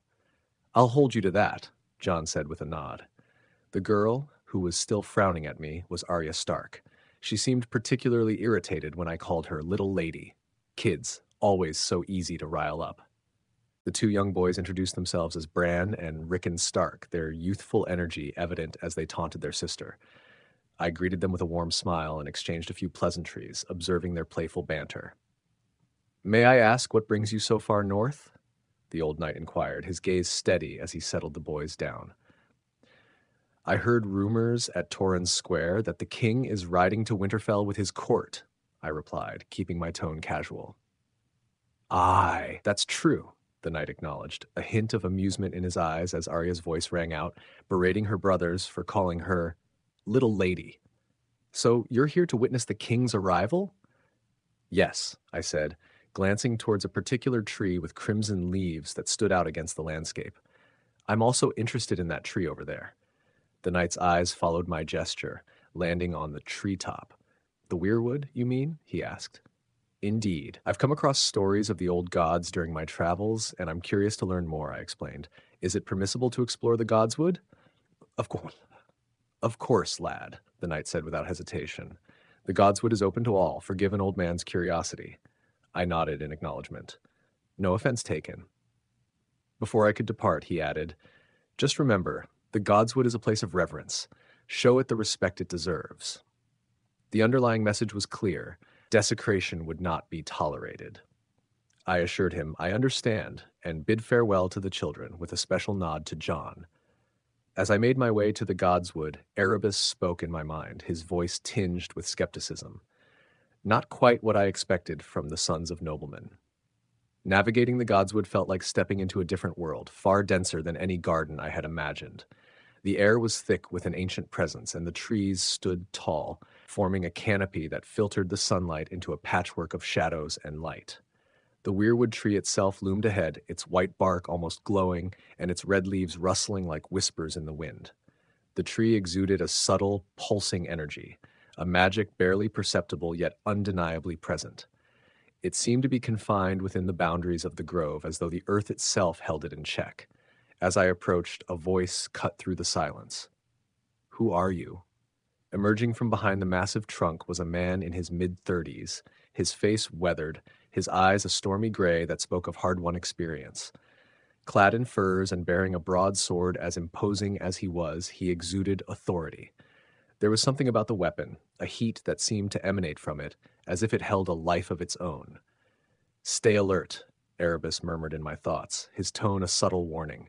My apologies, I said, forcing myself to remain composed. I was drawn to the weirwood, first time seeing one in person, and I couldn't resist. My name is Harry. The man inclined his head slightly. I am Eddard Stark, Lord of Winterfell and Warden of the North. Oh, great, I thought. I just stumbled upon the Lord of the place. Trying to regain my composure, I blurted out, Do you always have to say the full title every time? To my surprise, a faint smile tugged at the corners of his mouth. Aye, lad. Even after all these years, it's still a bit of a mouthful. I can imagine, I replied, then turned back to the tree. Eddard followed my gaze. Magnificent, isn't it? Absolutely, I agreed. I've read that the children of the forest carved faces into these trees. That they did, Eddard confirmed, gesturing for me to follow him. As I rounded the tree, I came face to face with the carved visage, its eyes seemingly weeping red sap. It was eerily lifelike. They say no man can tell a lie before a heart tree. Eddard continued, his voice reverent. The old gods know when men are false. I placed a hand on the bark, sensing a faint consciousness, an awareness that lingered just out of reach, like a shape glimpsed from the corner of one's eye. It was a reminder of the mysteries that lay beyond human understanding, proof of forces older than civilization. After a moment, I drew back and spoke. A remarkable place indeed, I apologize for disturbing your contemplation. I'll take my leave now. Good day, Lord Stark. Good day, he replied, inclining his head before resuming his meditative posture beneath the tree. With that, I made my way to the town just outside Winterfell's walls, where the inn known as the Smoking Log awaited. The inn's name, I learned, came from the warm steam that drifted from the nearby hot springs, creating a kind of perpetual mist that hung over the area. The town was sparsely populated, the bustling marketplace, a shadow of what it must be during the depths of winter, when the small folk flocked here seeking refuge from the cold. Among the sights that caught my eye was the brothel. I briefly entertained the idea of visiting, but quickly dismissed it, no telling what kind of ailments the women might carry. These people were unfamiliar with even the most basic principles of hygiene, let alone the concept of disease prevention. Better safe than sorry, I reasoned. The room I rented was modest, but sufficient for my needs. I paid for a few weeks in advance, unsure of when King Robert and his retinue would arrive. I wasn't entirely certain why I was so interested in meeting him. After all, he was just a man like any other. But something about the North and its ancient, whispering trees left me with a sense that there was more at play here than met the eye. One man who rules over all these lands, Erebus corrected me, his voice tinged with curiosity. At the very least, it will be interesting to see what kind of man he is. Over the next week, while waiting for the king's arrival, I spent my time diving into a book I'd purchased in Torrhen's Square, which detailed the history of Old Valyria. Once the center of a vast empire, Valyria now lay in ruins on the eastern continent of Essos, a city lost to time after a mysterious and catastrophic event known as the Doom. The Valyrian freehold had spanned much of the continent, its people renowned for their mastery of dragons and magic. But in a single day, it all came to an end save for the Targaryen family, who managed to escape before the disaster struck. The book, while informative, left much to be desired in terms of specifics. What exactly caused the doom remained a mystery. Was it volcanic eruptions that tore the land apart? Or something darker? Perhaps their own dragons turned against them, or they fell victim to some unknown force. The speculation was endless, but one thing was clear magic had been deeply woven into Valyrian society, bound by fire and blood. Their wizards were said to perform feats like igniting candles made of dragon glass, which supposedly allowed them to see across vast distances, peer into the minds of others, and communicate across continents. The remnants of such power still lingered, hinting at a world once much more connected to the supernatural than the present. I guess Valyria should be on the list of places to visit, I mused after finishing the book. The thought of exploring such ancient ruins intrigued me, though I knew that few ever returned from the cursed land. In the meantime, I had begun sparring with Jon Snow, his half brother Robb, and Theon Greyjoy. Though all three were skilled, I found myself gravitating toward Jon. Robb and Theon were brash, especially Greyjoy, whose arrogance often grated on my nerves. Jon, by contrast, carried a quiet intensity. His emotions were guarded, his demeanor resembling that of his father, Eddard Stark, stern, composed, and observant. I sensed why Jon was so closed off. As a bastard, he was an outsider even within his own home. Society viewed bastards with suspicion, labeling them as opportunistic and untrustworthy, largely due to the infamous Blackfyre Rebellion a century ago. Back then, King Aegon legitimized all his bastards on his deathbed, but they eventually rebelled, seeking the crown for themselves. Since then, the stigma around bastards had only grown worse. Maybe that's why I found myself drawn to Jon. He wasn't arrogant or entitled like Theon, and beneath his quiet exterior, I saw someone who had lived with rejection his whole life, much like I had. Growing up under the Dursleys' roof, I'd been treated with disdain, never truly feeling like I belonged. I understood the pain of wondering about your parents in the dead of night, yearning for answers that never came. In Jon, I saw a kindred spirit, someone who, despite his burdens, held on to his honor and his kindness. In the short time we had spent together, we had become friends, a bond forged in unspoken understanding. One evening, Jon opened up to me about his desire to join the Night's Watch, an idea that had been weighing heavily on his mind for over a year. You can't be serious, I said, raising an eyebrow. The Night's Watch is practically a prison for criminals. Jon's face tightened at my words. My uncle Benjen is part of the Night's Watch, and he's no criminal. I'm sure he's not, I quickly reassured him. But let's be honest, most of their recruits are criminals. They're sent there as an alternative to losing their heads. I recounted the story of the thief I'd encountered in Torrhen's Square, a man who had begged for his life, knowing that his choices were either the chopping block or taking the black. The Night's Watch recruits from dungeons and prisons all over the realm. It's a last resort for many who'd rather die than spend their lives in a cold, desolate place, stripped of their freedom. Jon remained silent, clearly grappling with the weight of my words. I softened my tone, sensing his inner conflict. Look, I know your uncle is an honorable man, and so are you. But you're still young, Jon. There's so much more you could do before committing your life to the watch. And what would you have me do? Jon's voice rose, frustration lacing his words. I'm a bastard. No one will take me in except the watch. I would. My voice was steady, and Jon looked at me in surprise. I don't care that you're a bastard. What matters is the kind of person you are, and from what I've seen, you're one of the best. You treat people with kindness, even when the world hasn't been kind to you. Jon looked away, clearly moved by my words, but still unsure. The compliment had made him visibly uncomfortable, but I could tell it struck a chord. I'll be heading to the wall soon, I added, trying to lighten the mood. I've heard it's an impressive sight and I'd like to see it for myself. You could come with me, at least visit the wall before deciding if it's where you want to spend your life. What do you say? Jon hesitated for a long moment before nodding.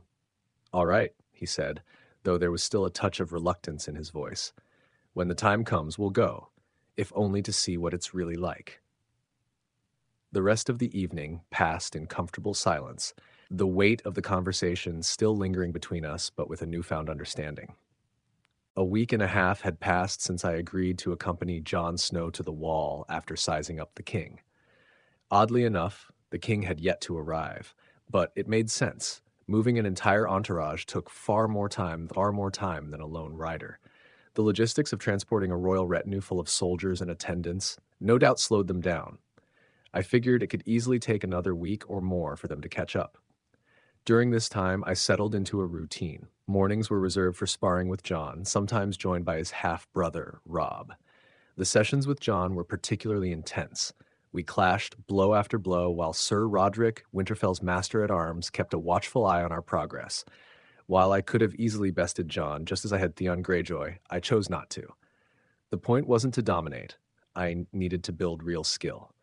You might wonder, why not use all your power, Harry? surely you could win every fight.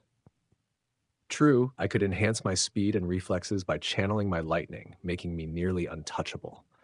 But here's the thing real battles are rarely one on one. In an ambush or surrounded by multiple enemies, speed alone wouldn't save me. Imagine facing 50 men, my comrades dead in the first 10 seconds. I'm left against a handful of attackers in close quarters, while dozens more prepare to strike, archers knocking arrows from a distance. Sure, I could dodge a few strikes, but eventually I'd either be overwhelmed by arrows or cut down by swords. Even if I relied on my wide area magic like Lightning Dragon's Roar or other devastating spells, I'd run out of energy fast. My powers weren't limitless, they ebbed with fatigue, hunger, and stress. Another complication I'd noticed was how this world seemed to suppress my magic's full potential. My abilities could still break through stone and metal, but not with the ease they once had. The magic here resisted mine, forcing me to adapt, hence my focus on swordplay. Jon had natural talent. His strikes were precise, his counters timed perfectly, and as we sparred, I found myself improving. In the beginning, Jon could easily beat me, but over time, I made him work for his victories. The sound of a scuffle nearby snapped me back to the present. I turned and smiled at the sight, Jon was wrestling with his direwolf, Ghost. Despite his massive size, Ghost moved in eerie silence, each step noiseless, unlike his siblings. There was something mysterious about Ghost, perhaps a magical trait unique to him. I made a mental note to look into it later. It was almost noon, the time when Jon and I usually sat outside Winterfell, overlooking the distant woods. The landscape here was breathtaking, so much more vibrant than the world I had left behind. I had come to enjoy these quiet moments with Jon, sitting in companionable silence, perhaps sharing lunch after our training sessions. He had begun to open up to me a little since I promised to take him with me to the wall, and perhaps even further if the Night's Watch didn't live up to his expectations. Though Jon wasn't the type to bare his soul, he had started to smile more easily. He shared bits of himself, not through words, but through his actions, how he interacted with others, how he carried himself. With most people, Jon remained guarded, his words careful, his distance evident. But with his siblings, especially Arya, he let down his guard.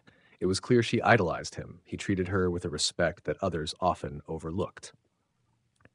Jon had also begun to probe me with subtle questions. He wasn't direct, but he wanted to know if I truly meant it when I offered him a place by my side. He was testing me, assessing if my offer of companionship was genuine. I couldn't blame him. His questions were sharp, especially when he asked what my plans were. That was a question I couldn't easily answer. I had originally come to this world with a clear goal find magical artifacts, harness their power, and find a way home. But as time passed, the plan started to feel less concrete, more like a distant hope. This world's magic, while powerful, was different from the structured magic of my home. Back there, spells were crafted through careful calculation and theory. Arithmancy laid the foundation for creating new spells, each formula meticulously designed. Here, magic felt raw, untamed. There was no familiar structure to it, no clear method of control. Back home, creating a spell was like solving a puzzle. Break down the desired effect into a series of steps, link them together, and voila, a spell that could cook your dinner or heal wounds. But here, magic felt more like a force of nature, unpredictable and elusive. I had told Jon that if he joined me, I'd share my plans with him to explore the world in search of magical artifacts, ones that might hold the key to returning me home. But truthfully, I wasn't even sure of that anymore. What I had once considered an easy path now felt like chasing shadows. The more I learned about this world, the more I doubted that it held the answers I was seeking. The future, once so clear, now seemed like an open road with endless possibilities but no destination. And maybe I thought that wasn't such a bad thing. The study of magic often evokes a fascination with structure and theory, arithmancy and ancient runes, for example, embodying the intricate systems that underpin spellcraft. In arithmancy, complex calculations allow wizards to discern patterns in the magical world, while the ancient practice of inscribing runes channels protective magic through wood, stone, or bone with remarkable precision. Transfiguration, although seemingly straightforward as the art of changing one object into another, proves deceptively intricate each transformation demands extensive understanding, as evidenced by the exhaustive essays required to master even the simplest spells. Yet, in this world, the magic appears less codified and more elusive. The practitioners, shadowbinders, warlocks, and red priests, rely on arcane rituals rooted in fire and blood. These practices are not organized into structured disciplines like in my world, but are shrouded in myth and ritual, lacking the clear framework I was accustomed to. It was a stark contrast to the rigor of magical studies, where rules governed every spell. My informal lessons with Maester Luwin became a window into both history and magic. Despite his skepticism toward the supernatural, Lewin was well versed in the lore surrounding the Red Priests, who worshipped R'hllor, the Lord of Light. The faith taught that R'hllor's eternal struggle was against the Great Other, a dark force embodying death, cold, and evil. During one of our conversations, Luwin spoke about the duality of these beliefs light versus dark, fire against ice. I considered the nature of these supposed deities, who seemed familiar from my own encounters with the forces beyond the veil. The Great Other had reacted with shock to my command over darkness and cold, while R'hllor regarded me as an adversary. Their very recognition of me hinted at an enmity I had yet to fully understand. Turning our discussions to politics revealed a society built on stark inequalities. Lords wielded near absolute power over the land and its people, while the king's authority, although theoretically supreme, often depended on the influence of noble families. I likened it to the wizarding world's own flaws, where wealth and power could corrupt justice. When I raised this point, Luwin's knowing smile suggested agreement. It is an imperfect system, he admitted, but one preferable to chaos and civil strife. The more I learned, the more I saw how deeply entrenched the hierarchy was. Unlike my own time, where rights and freedoms had been hard won through centuries of struggle, here the notion of equality seemed almost absurd. The people, small folk as they were called, were viewed as little more than chattel by some, their worth measured in their utility to the nobility. Such a system conflicted with my beliefs. Despite my powers, I did not consider myself inherently superior to others. I could not accept a world where birth alone determined a person's value. It was tempting to consider using my magic to impose change, to bend the powerful to my will through enchantment or force. But such a course would be unsustainable. The Imperius curse, though effective, could be resisted by those with strong enough minds and attempting to control many people simultaneously would only lead to failure. Meaningful change, I knew, could not be achieved solely through coercion. The tranquility of the Godswood often provided a welcome respite from my inner turmoil. Its ancient trees, dense and gnarled, bore witness to the passage of time, their roots seemingly intertwined with the very history of the North. The heart tree, with its haunting visage carved into the bark, exuded an aura that was almost tangible, a quiet power that filled the air like a whispered secret. I felt the magic here, old and enduring, unlike any I had encountered before. It was not the raw, chaotic energy of spellwork, but something deeper, a connection to the land itself. As I touched the bark, I felt a presence, distant yet palpable, as though the tree itself was aware of my thoughts. I couldn't help but wonder if the old gods, whoever or whatever they were, listened to the murmurs of the heart tree and watched through its eyes. It was said that no one could lie in front of a heart tree, as if the ancient deities saw through all pretense. The idea intrigued me, and I resolved to explore this magic further, to understand whether it was truly divine or simply another facet of the world's hidden mysteries. My reflections were interrupted by Jon's sudden approach. His face, usually composed, showed a hint of nervousness. My father has invited you to join us for dinner, he said, the words tinged with uncertainty. The invitation came as a surprise. Really? I asked, glancing around as if expecting some jest. Jon nodded. Lady Catelyn was against it, but my father insisted.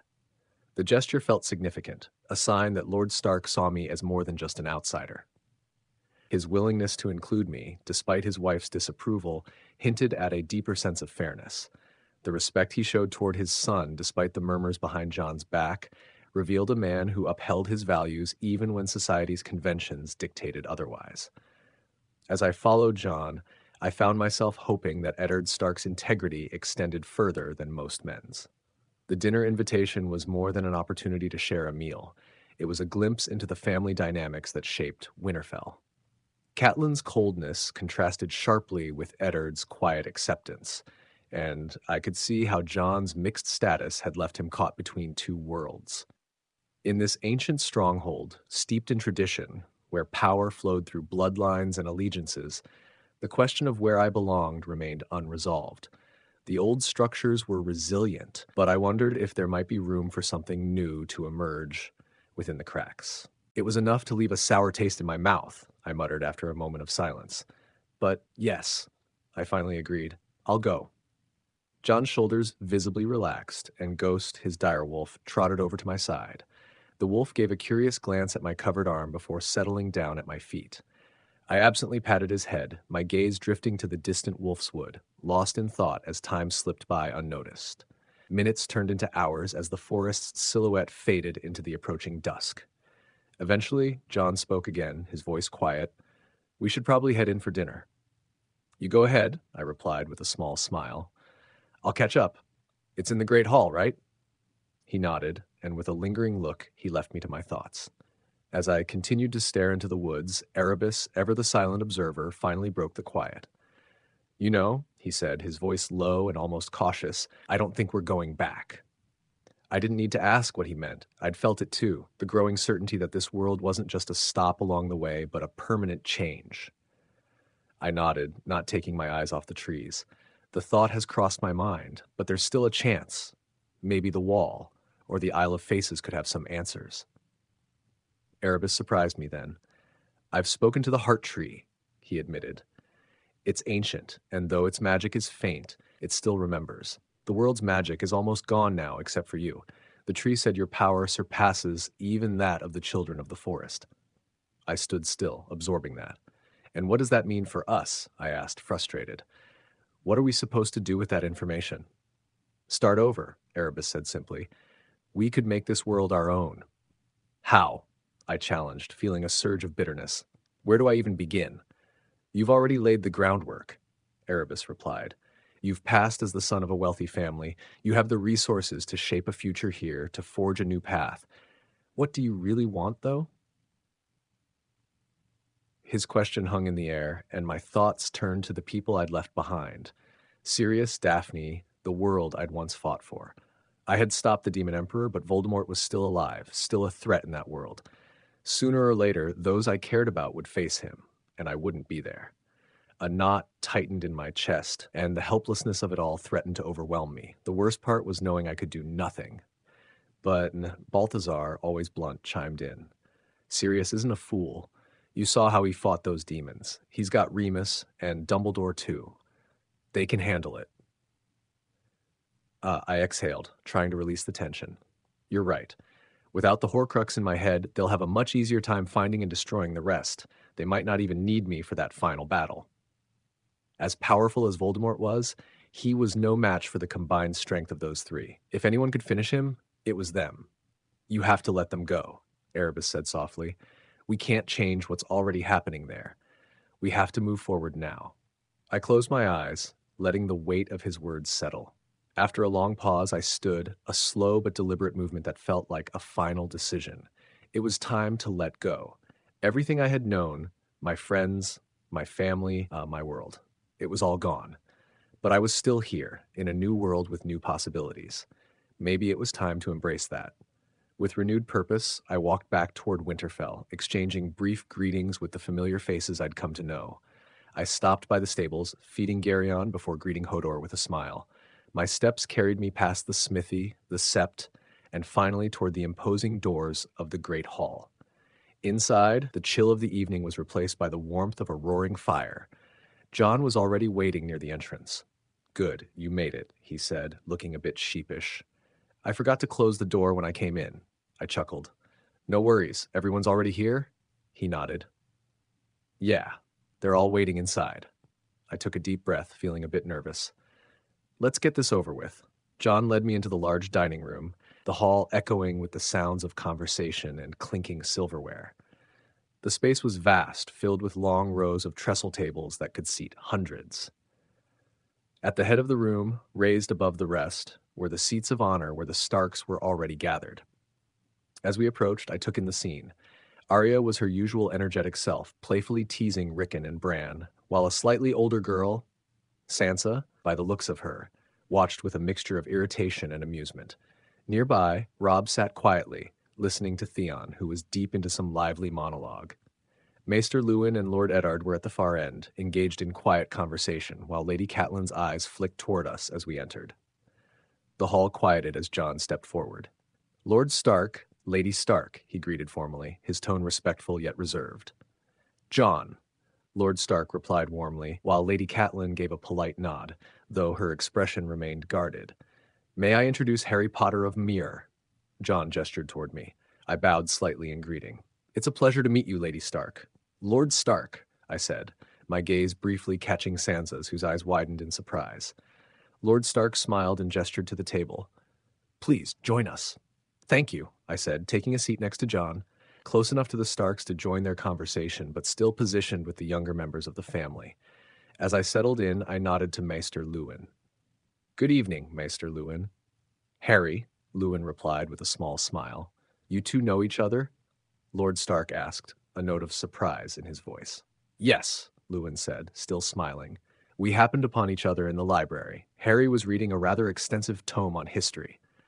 Ah, yes, I confirmed with a slight chuckle, I think I kept him talking about it longer than I intended. Luwin chuckled in return. Indeed, I was nearly late to my duties.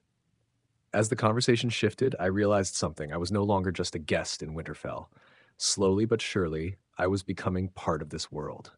And maybe, just maybe, that was something worth embracing. Eddard's eyes flickered with recognition as he spoke. Aye, you were. I had just assumed you had other matters to attend to. Luwin shifted, looking slightly embarrassed, but Eddard offered him a small, reassuring smile. No need to worry, old friend. These things happen. Luwin gave a brief nod and returned to his meal. Turning to me, Eddard continued, So, Harry, what brings you to Westeros? I noticed Lady Catelyn's gaze shift to me as well, intrigued by the question. Well, Lord Stark, I began, I've been traveling the world, seeking a place to settle down and leave my mark. Westeros seemed like a fine choice, and the North has been mostly wonderful so far. Mostly? Lady Catelyn asked, her tone curious, but with a slight edge of disapproval. I grimaced slightly before responding. A few brigands tried to rob me near Torrhen Square. My lady, I added quickly, realizing my lack of formalities. Apologies, I'm still adjusting to the customs here. It's quite all right, Lord Stark replied, his expression kind. Did you report the matter to the authorities? I didn't, I admitted, and immediately felt the weight of curious stares fall on me. Why not? Jon, seated next to me, asked, his brow furrowing. The other Stark children were also listening closely. I took a deep breath before explaining. They looked like they were starving. I'm fortunate enough to have resources from my parents, but not everyone is that lucky. I beat their leader and let them go. Eddard nodded thoughtfully. A merciful choice. Thank you, Lord Stark, I replied as the servants began to bring out dinner. The spread was far from the extravagant dishes I had half expected. No whole pigs with apples in their mouths, thankfully, but a simple array of meats, bread, and vegetables. I reached for some venison, a meat I had developed a taste for in my time here. After a few bites, Eddard asked, If you don't mind my curiosity, how old are you? I swallowed before answering. Fifteen. Fifteen, Lady Catelyn said, her surprise evident. And you're already traveling? Your parents permitted this? The question hit a nerve. My response came out colder than I intended. They were killed when I was young. I left as soon as I could. My memories of that place were tainted. My condolences, Lady Catelyn offered, clearly flustered by her misstep. Her voice softened, and she looked genuinely sorry. It's all right, I said, my tone more forgiving. Arya, chewing on her food, suddenly asked, Is that why you're here? Arya, Catelyn scolded, don't speak with your mouth full. I chuckled lightly, answering the young Stark.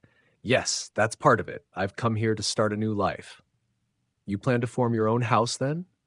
Maester Luwin inquired, his eyes narrowing in interest. I paused, considering the question. Maybe someday, I said, choosing my words carefully. For now, I'm focused on making a name for myself. Without a reputation, I couldn't possibly hope to gain land or trust from others. Quite true, Luwin agreed, as Eddard gave a nod of approval. But how do you intend to achieve that? Luwin asked, leaning in. I've only figured out part of it, I admitted with a sheepish grin. Once people know my name, they'll see what kind of man I am. As for land, well, I have the means at least. Hmm, Luwin murmured thoughtfully. And your plan for gaining this notoriety? I smiled. By defeating the strongest fighters in Westeros, of course. That should get people talking. The room fell into an awkward silence, broken only by Theon's sudden snort of laughter. That's a bit arrogant, don't you think? Theon remarked, clearly dismissive. You bested me in a spar, I'll give you that. But do you honestly think you can take on anyone? I met his gaze steadily. Yes. Jon remained silent, though I noticed a flicker of recognition in his eyes. He had seen glimpses of my true power, though he didn't know the full extent of it. Theon smirked, leaning back in his chair, I've heard Sir Jaime Lannister, the Kingslayer himself, is coming to Winterfell with the king. Would you challenge him then? Jaime Lannister. His reputation as one of the best swordsmen in the Seven Kingdoms preceded him. The servants and small folk in Wintertown spoke of his skill often, and it was clear that Theon expected me to shy away from such a challenge. Is that so? I replied calmly, watching Theon's face for a reaction. Oh, yes, Theon continued, clearly enjoying the moment. He likely thought he had cornered me. Then, yes, I said, a grin spreading across my face. I'll challenge him once he's settled in. Will you deliver the challenge for me, or shall I do it myself? Theon had no response, his earlier confidence suddenly faltering. Jon and Robb exchanged amused glances, while the adults at the table looked at me like I had lost my mind. I could already tell the next few days were going to be eventful. But for now, I focused on the meal in front of me. This venison was particularly excellent. A week passed with each day blending into the next, marked by sparring sessions and long hours of practice. Jon and I had been training in earnest, pushing the limits of our speed and reflexes. Jon had shown remarkable improvement, his movements growing faster and more precise. He had even begun to outmatch some of Winterfell's seasoned guards, a testament to the effectiveness of our grueling regime. But it wasn't just the swordplay that we focused on. I took Jon through exercises that seemed foreign here push ups, squats, drills designed to build strength and endurance beyond what lugging a sword or wearing armor could achieve. It had worked wonders for him, even if we kept the details of his new routine to ourselves to avoid questions.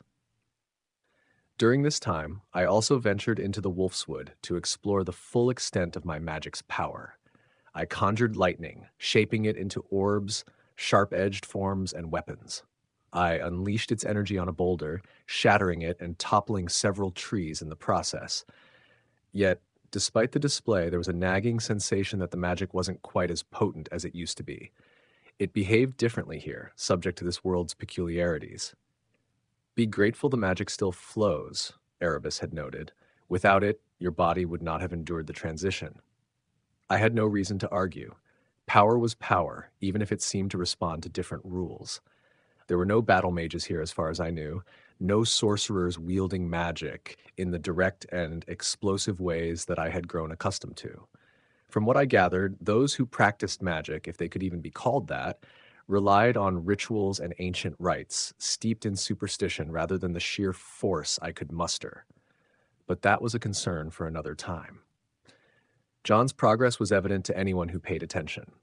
His skills were advancing so rapidly that even Robb, who joined our training sessions occasionally, couldn't help but notice the results. Though it amused me to see how training methods taken for granted in my world were unheard of here, Jon embraced them with a zeal that spoke of a desire to prove himself.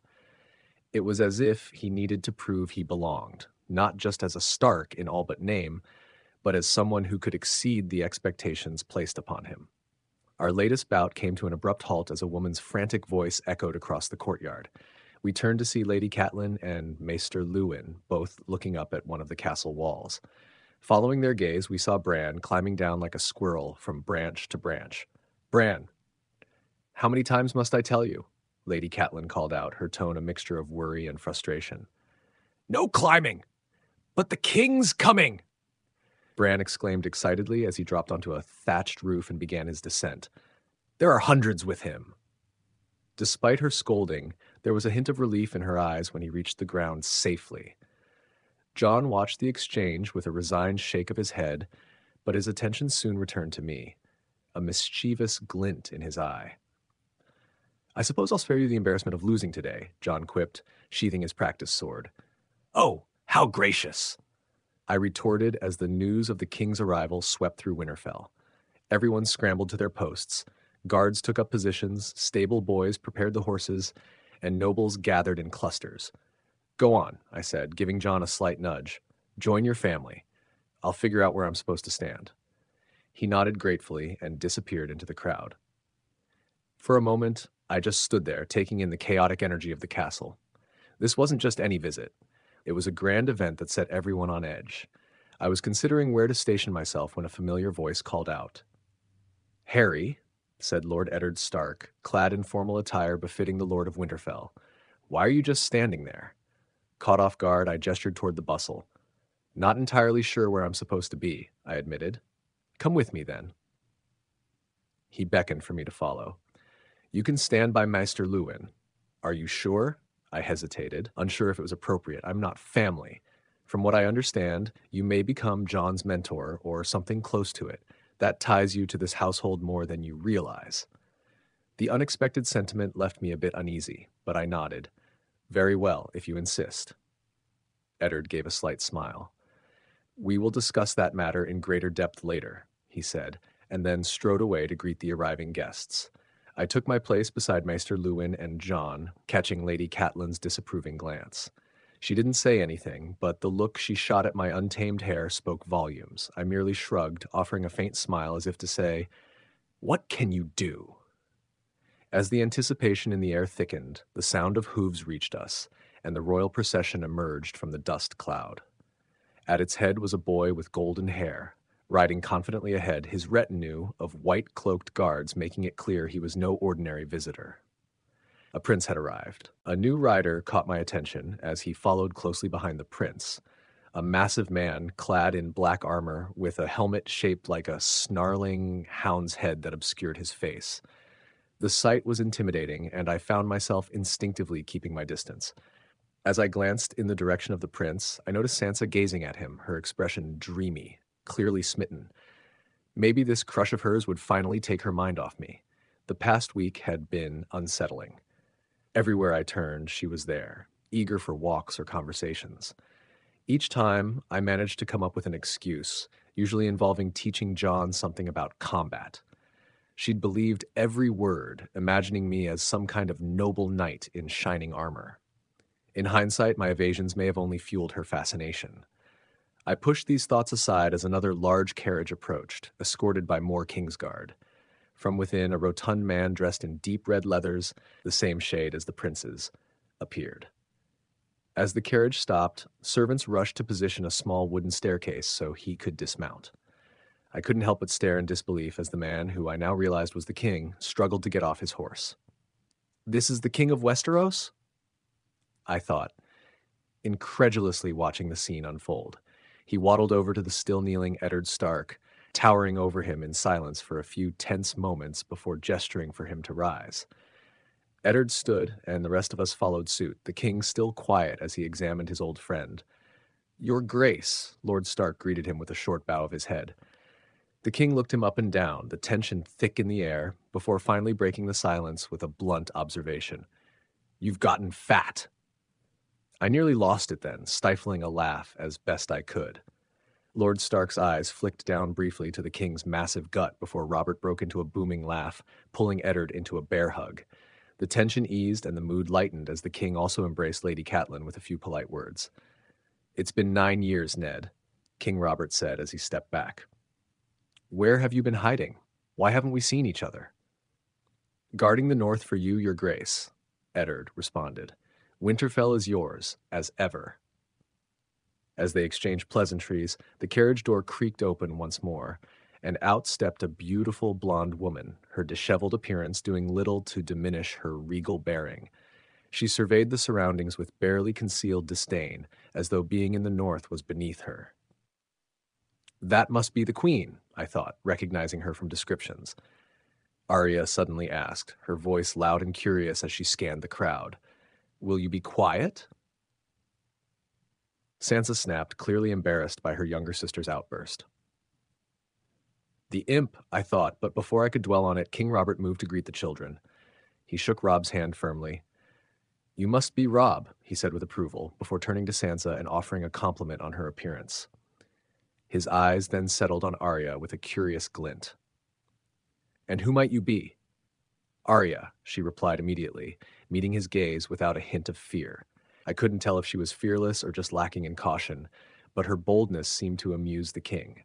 My attention shifted to one of the king's guard, who had removed his helmet, revealing golden hair that matched the queen's. Arya, ever observant, spoke up again. That's Jaime Lannister, the queen's brother. Would you please stop talking? Sansa hissed, her frustration growing. So that's him, I murmured to myself, watching as Jon also glanced toward Jaime Lannister. There was something in Jon's posture, a mix of tension and recognition. As Eddard and Catelyn greeted the Queen, King Robert, ever impatient, interrupted. Take me to your crypt, he demanded, his tone leaving no room for argument. I want to pay my respects. We've been riding for over a month, my love, Queen Cersei interjected, her voice laced with irritation. Surely the dead can wait? But King Robert paid her no heed, turning to Ned with a simple nod before walking off toward the crypt. After a brief hesitation, Eddard followed him, leaving the rest of us standing awkwardly in the courtyard. Lady Catelyn took charge then, directing the servants to prepare accommodations for the royal guests as the castle buzzed with activity. I turned to Jon, who had been quiet throughout. Want to get back to training? I asked. We can probably squeeze in another hour before I have to get ready for the feast. Jon nodded, eager for the distraction. I knew how much it frustrated him to be excluded from the feast because of his status as a bastard. It angered me too, but there was little I could do. I had promised Lord Stark I would attend, and I intended to keep my word. We trained hard for the next few hours, the physical exertion helping to clear my mind. When we were done, I told Jon I'd bring him some food from the feast, but he waved me off, saying he'd get something from the kitchens. Afterward, I returned to my room in the smoking log, filling a large stone basin I had conjured days before with water, which I heated using incendio. As I undressed and sank into the makeshift bath, the hot water soothed my aching muscles, and I let out a sigh of relief. Balthazar, the snake who had been my constant companion, hissed contentedly in my mind, enjoying the warmth as much as I did. The snake had been absorbing knowledge at an impressive rate, already fluent in written High Valyrian. That skill would be invaluable when I eventually traveled to the east.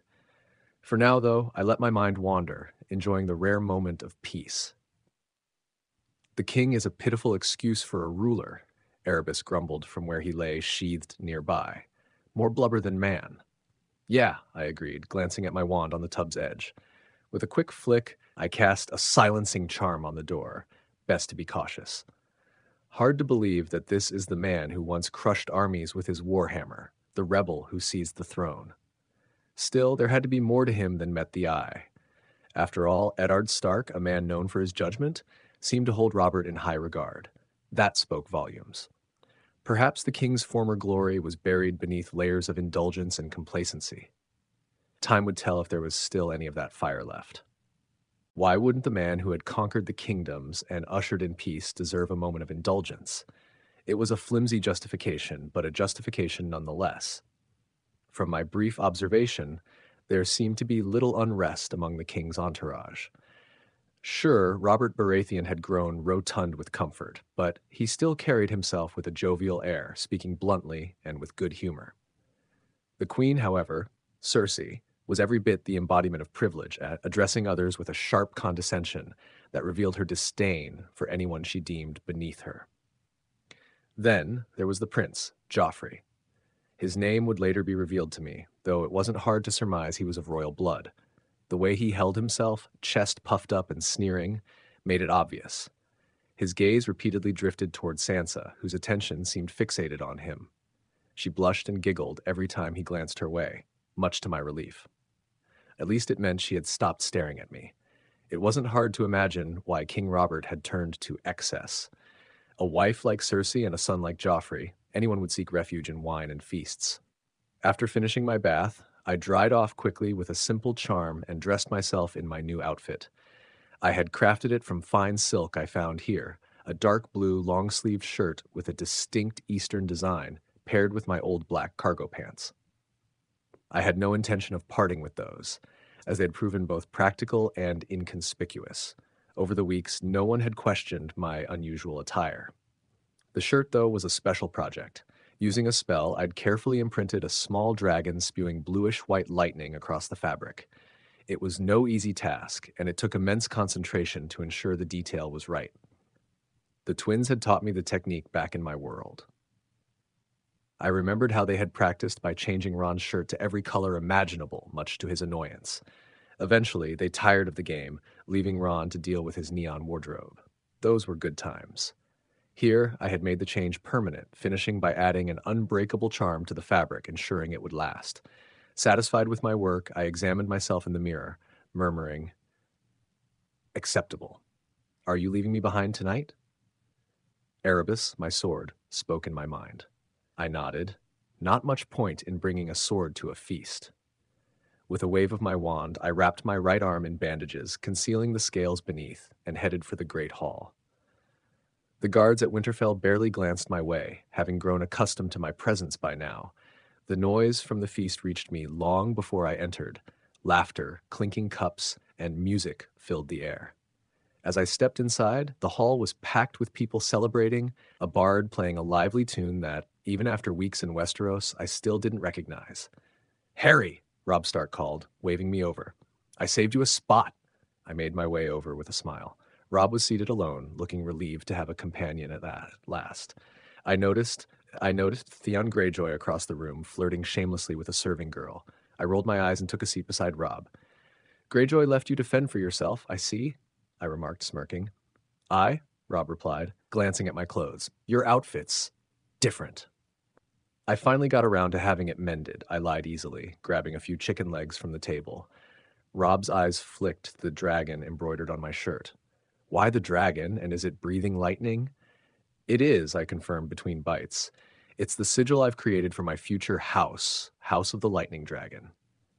Robb seemed taken aback. Have you thought of words for your house yet? The words, each noble family had its own motto, a phrase meant to embody the essence of their house. The Lannisters' Hear Me Roar and the Starks' Winter is Coming were common knowledge, it seemed strange to me, but it clearly carried weight here, reinforcing family pride and identity. Not yet, I admitted. The sigil is probably too soon, to be honest. Back in my world, the Black family's words were toujours pur, always pure, in French. I'd never thought to ask if the Potter family had a similar tradition. The words need to sound powerful, I mused, wiping my hand with a napkin. The lightning strikes. Balthazar, the dragon spirit within me, hissed in my mind. I grinned and repeated the suggestion aloud. Fitting, Robb nodded, recalling the times he and Jon had sparred with me. You fight like lightning, quick and relentless. I smirked at the compliment. If only he knew the true extent of my abilities. My gaze shifted to Prince Joffrey, who was once again staring at Sansa. She, in turn, was sneaking glances at him before whispering excitedly to her friend. At least I don't have to deal with her anymore, I muttered. Did you say something? Robb asked, glancing at me. Nothing important, I replied, just thinking aloud. We resumed our meal, the lively atmosphere continuing around us. After some time, Robb leaned in, lowering his voice. So, when are you going to challenge the Kingslayer? He glanced toward Jaime Lannister, who was moving through the crowd. I raised an eyebrow at him, then stood. How about now? Robb looked startled as I made my way toward Jaime, who was deep in conversation with Lord Stark. It would be good to see you in action, Jaime was saying as I approached. The competition has grown a bit stale. I don't fight in tournaments, Eddard replied plainly. Jaime leaned in closer, likely offering some quip, but Eddard remained unfazed. I don't fight in tournaments because when I fight for real, I don't want my opponent to know what I can do. I stepped forward, unable to resist adding, Wise words, Lord Stark. As Sir Jaime's gaze settled on me, a faint smirk tugged at his lips. And who might you be? His voice was measured, yet carried a hint of disdain. Before I could reply, Eddard Stark interjected, his voice cutting through the air to gather attention from those nearby. This is Harry of House Potter, hailing from the free city of Myr, he introduced, the emphasis on my origins seemingly chosen to stir curiosity. Jaime extended his hand with an air of practiced politeness. A pleasure, I'm sure, he remarked, though his tone left the authenticity of his words open to interpretation. As I shook his hand, Eddard steered the conversation. How are you finding the feast so far? he asked, perhaps sensing the tension. I gave a small smile. The food is excellent, as always, I replied before turning my attention back to Jaime. But I must confess there's something more I wish to discuss.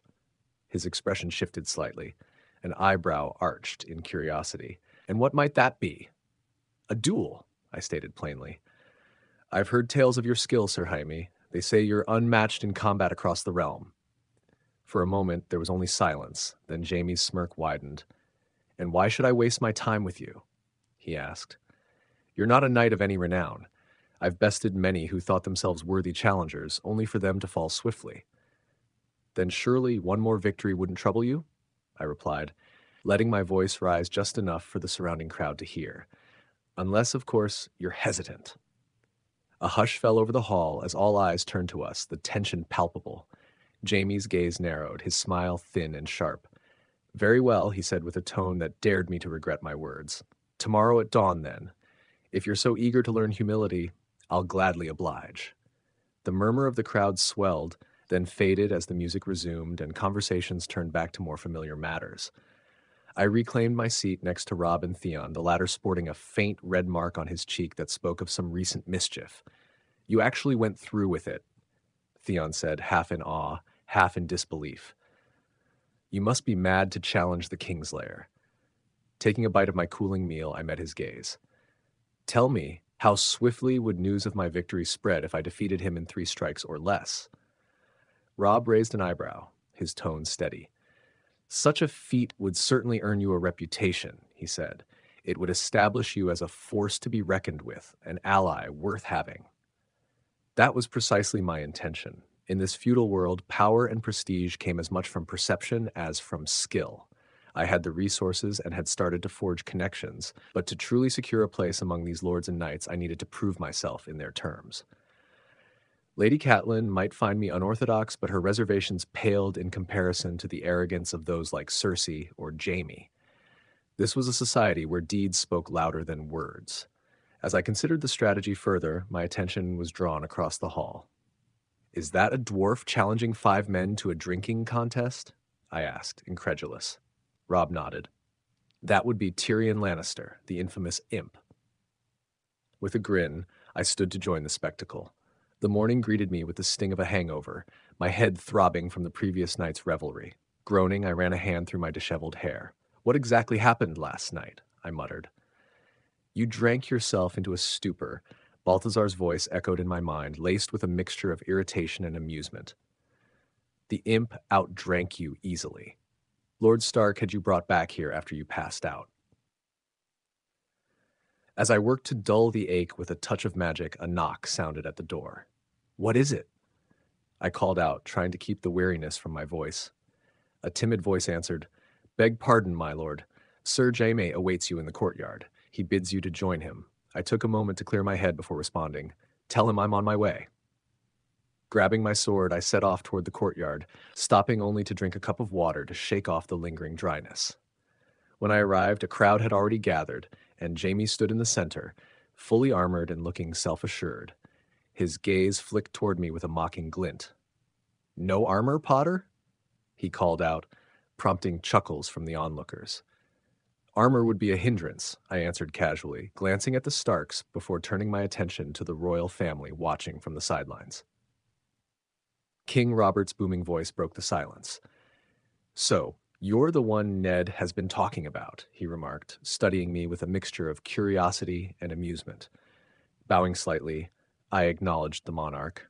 I am, your grace. I presume you will judge this duel? The king gave a hearty laugh. Aye, boy, I'll see if you're as mad as you seem or if there's something worth seeing in you. Jaime unsheathed his sword, the steel gleaming in the morning light. His confidence radiated from him as he took his stance, and the crowd fell into an expectant hush. For him, this was a matter of reputation. For me, it was an opportunity to carve a place in this world. As I prepared to face him, I knew that this duel wasn't merely about proving my prowess. It was about staking a claim to the respect and recognition that would ensure my future endeavors held weight in the eyes of those who ruled. The rules for this duel are straightforward King Robert proclaimed, his voice booming with authority. You will fight until one of you yields or loses consciousness. Should I determine that one of you is soundly defeated, I will end the fight and declare the winner myself. An electric silence filled the air, intensifying my focus as I drew Erebus, the sleek, black falchion gleaming in the light. Begin, the king shouted. The moment the signal was given, Jaime charged at me, intent on ending the duel swiftly to maximize my humiliation. But my muscles, energized by the magic of lightning, responded instantly. As he closed in, his movements appeared sluggish to me, a stark contrast to my heightened perception.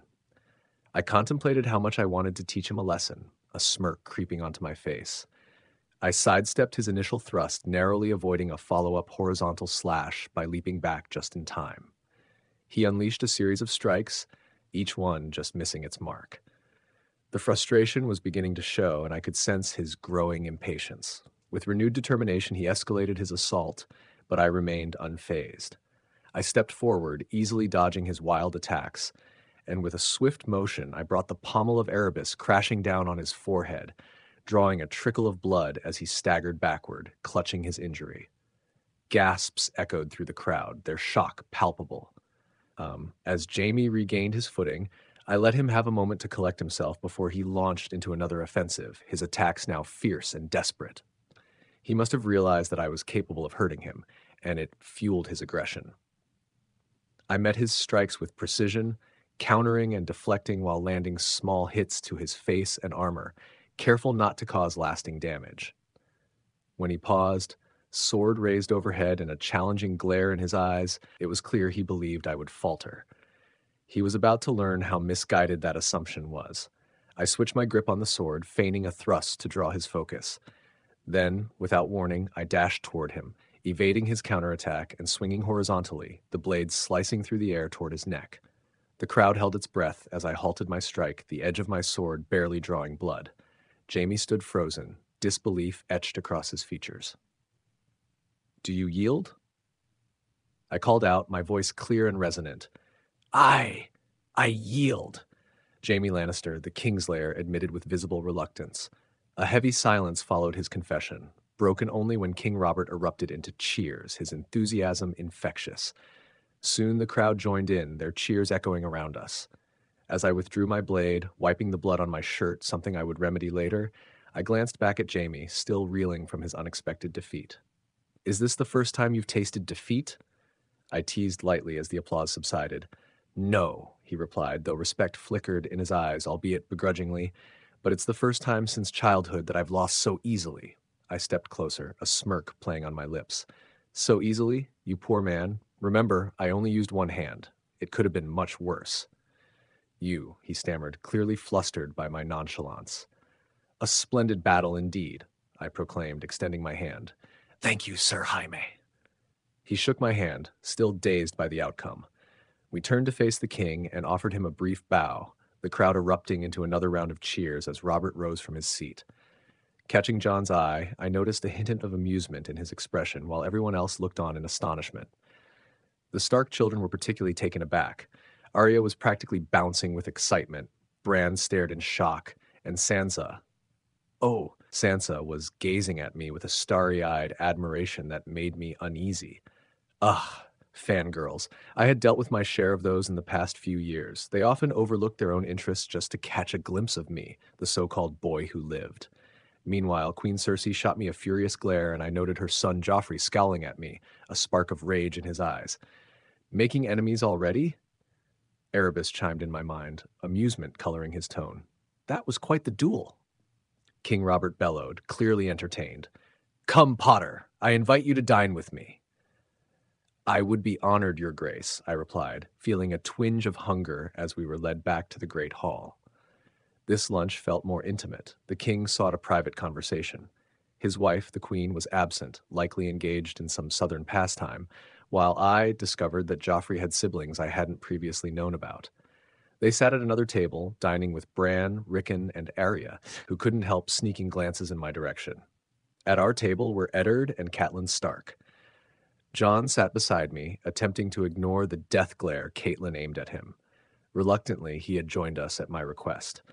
I intended to show him how to navigate the intricacies of nobility, and this was a start. As we settled in, I couldn't shake the feeling that today's duel was just the beginning of a much larger game. The political stakes were high, and each encounter, um, each choice would ripple through the intricate web of alliances and enmities in this new world I had stepped into.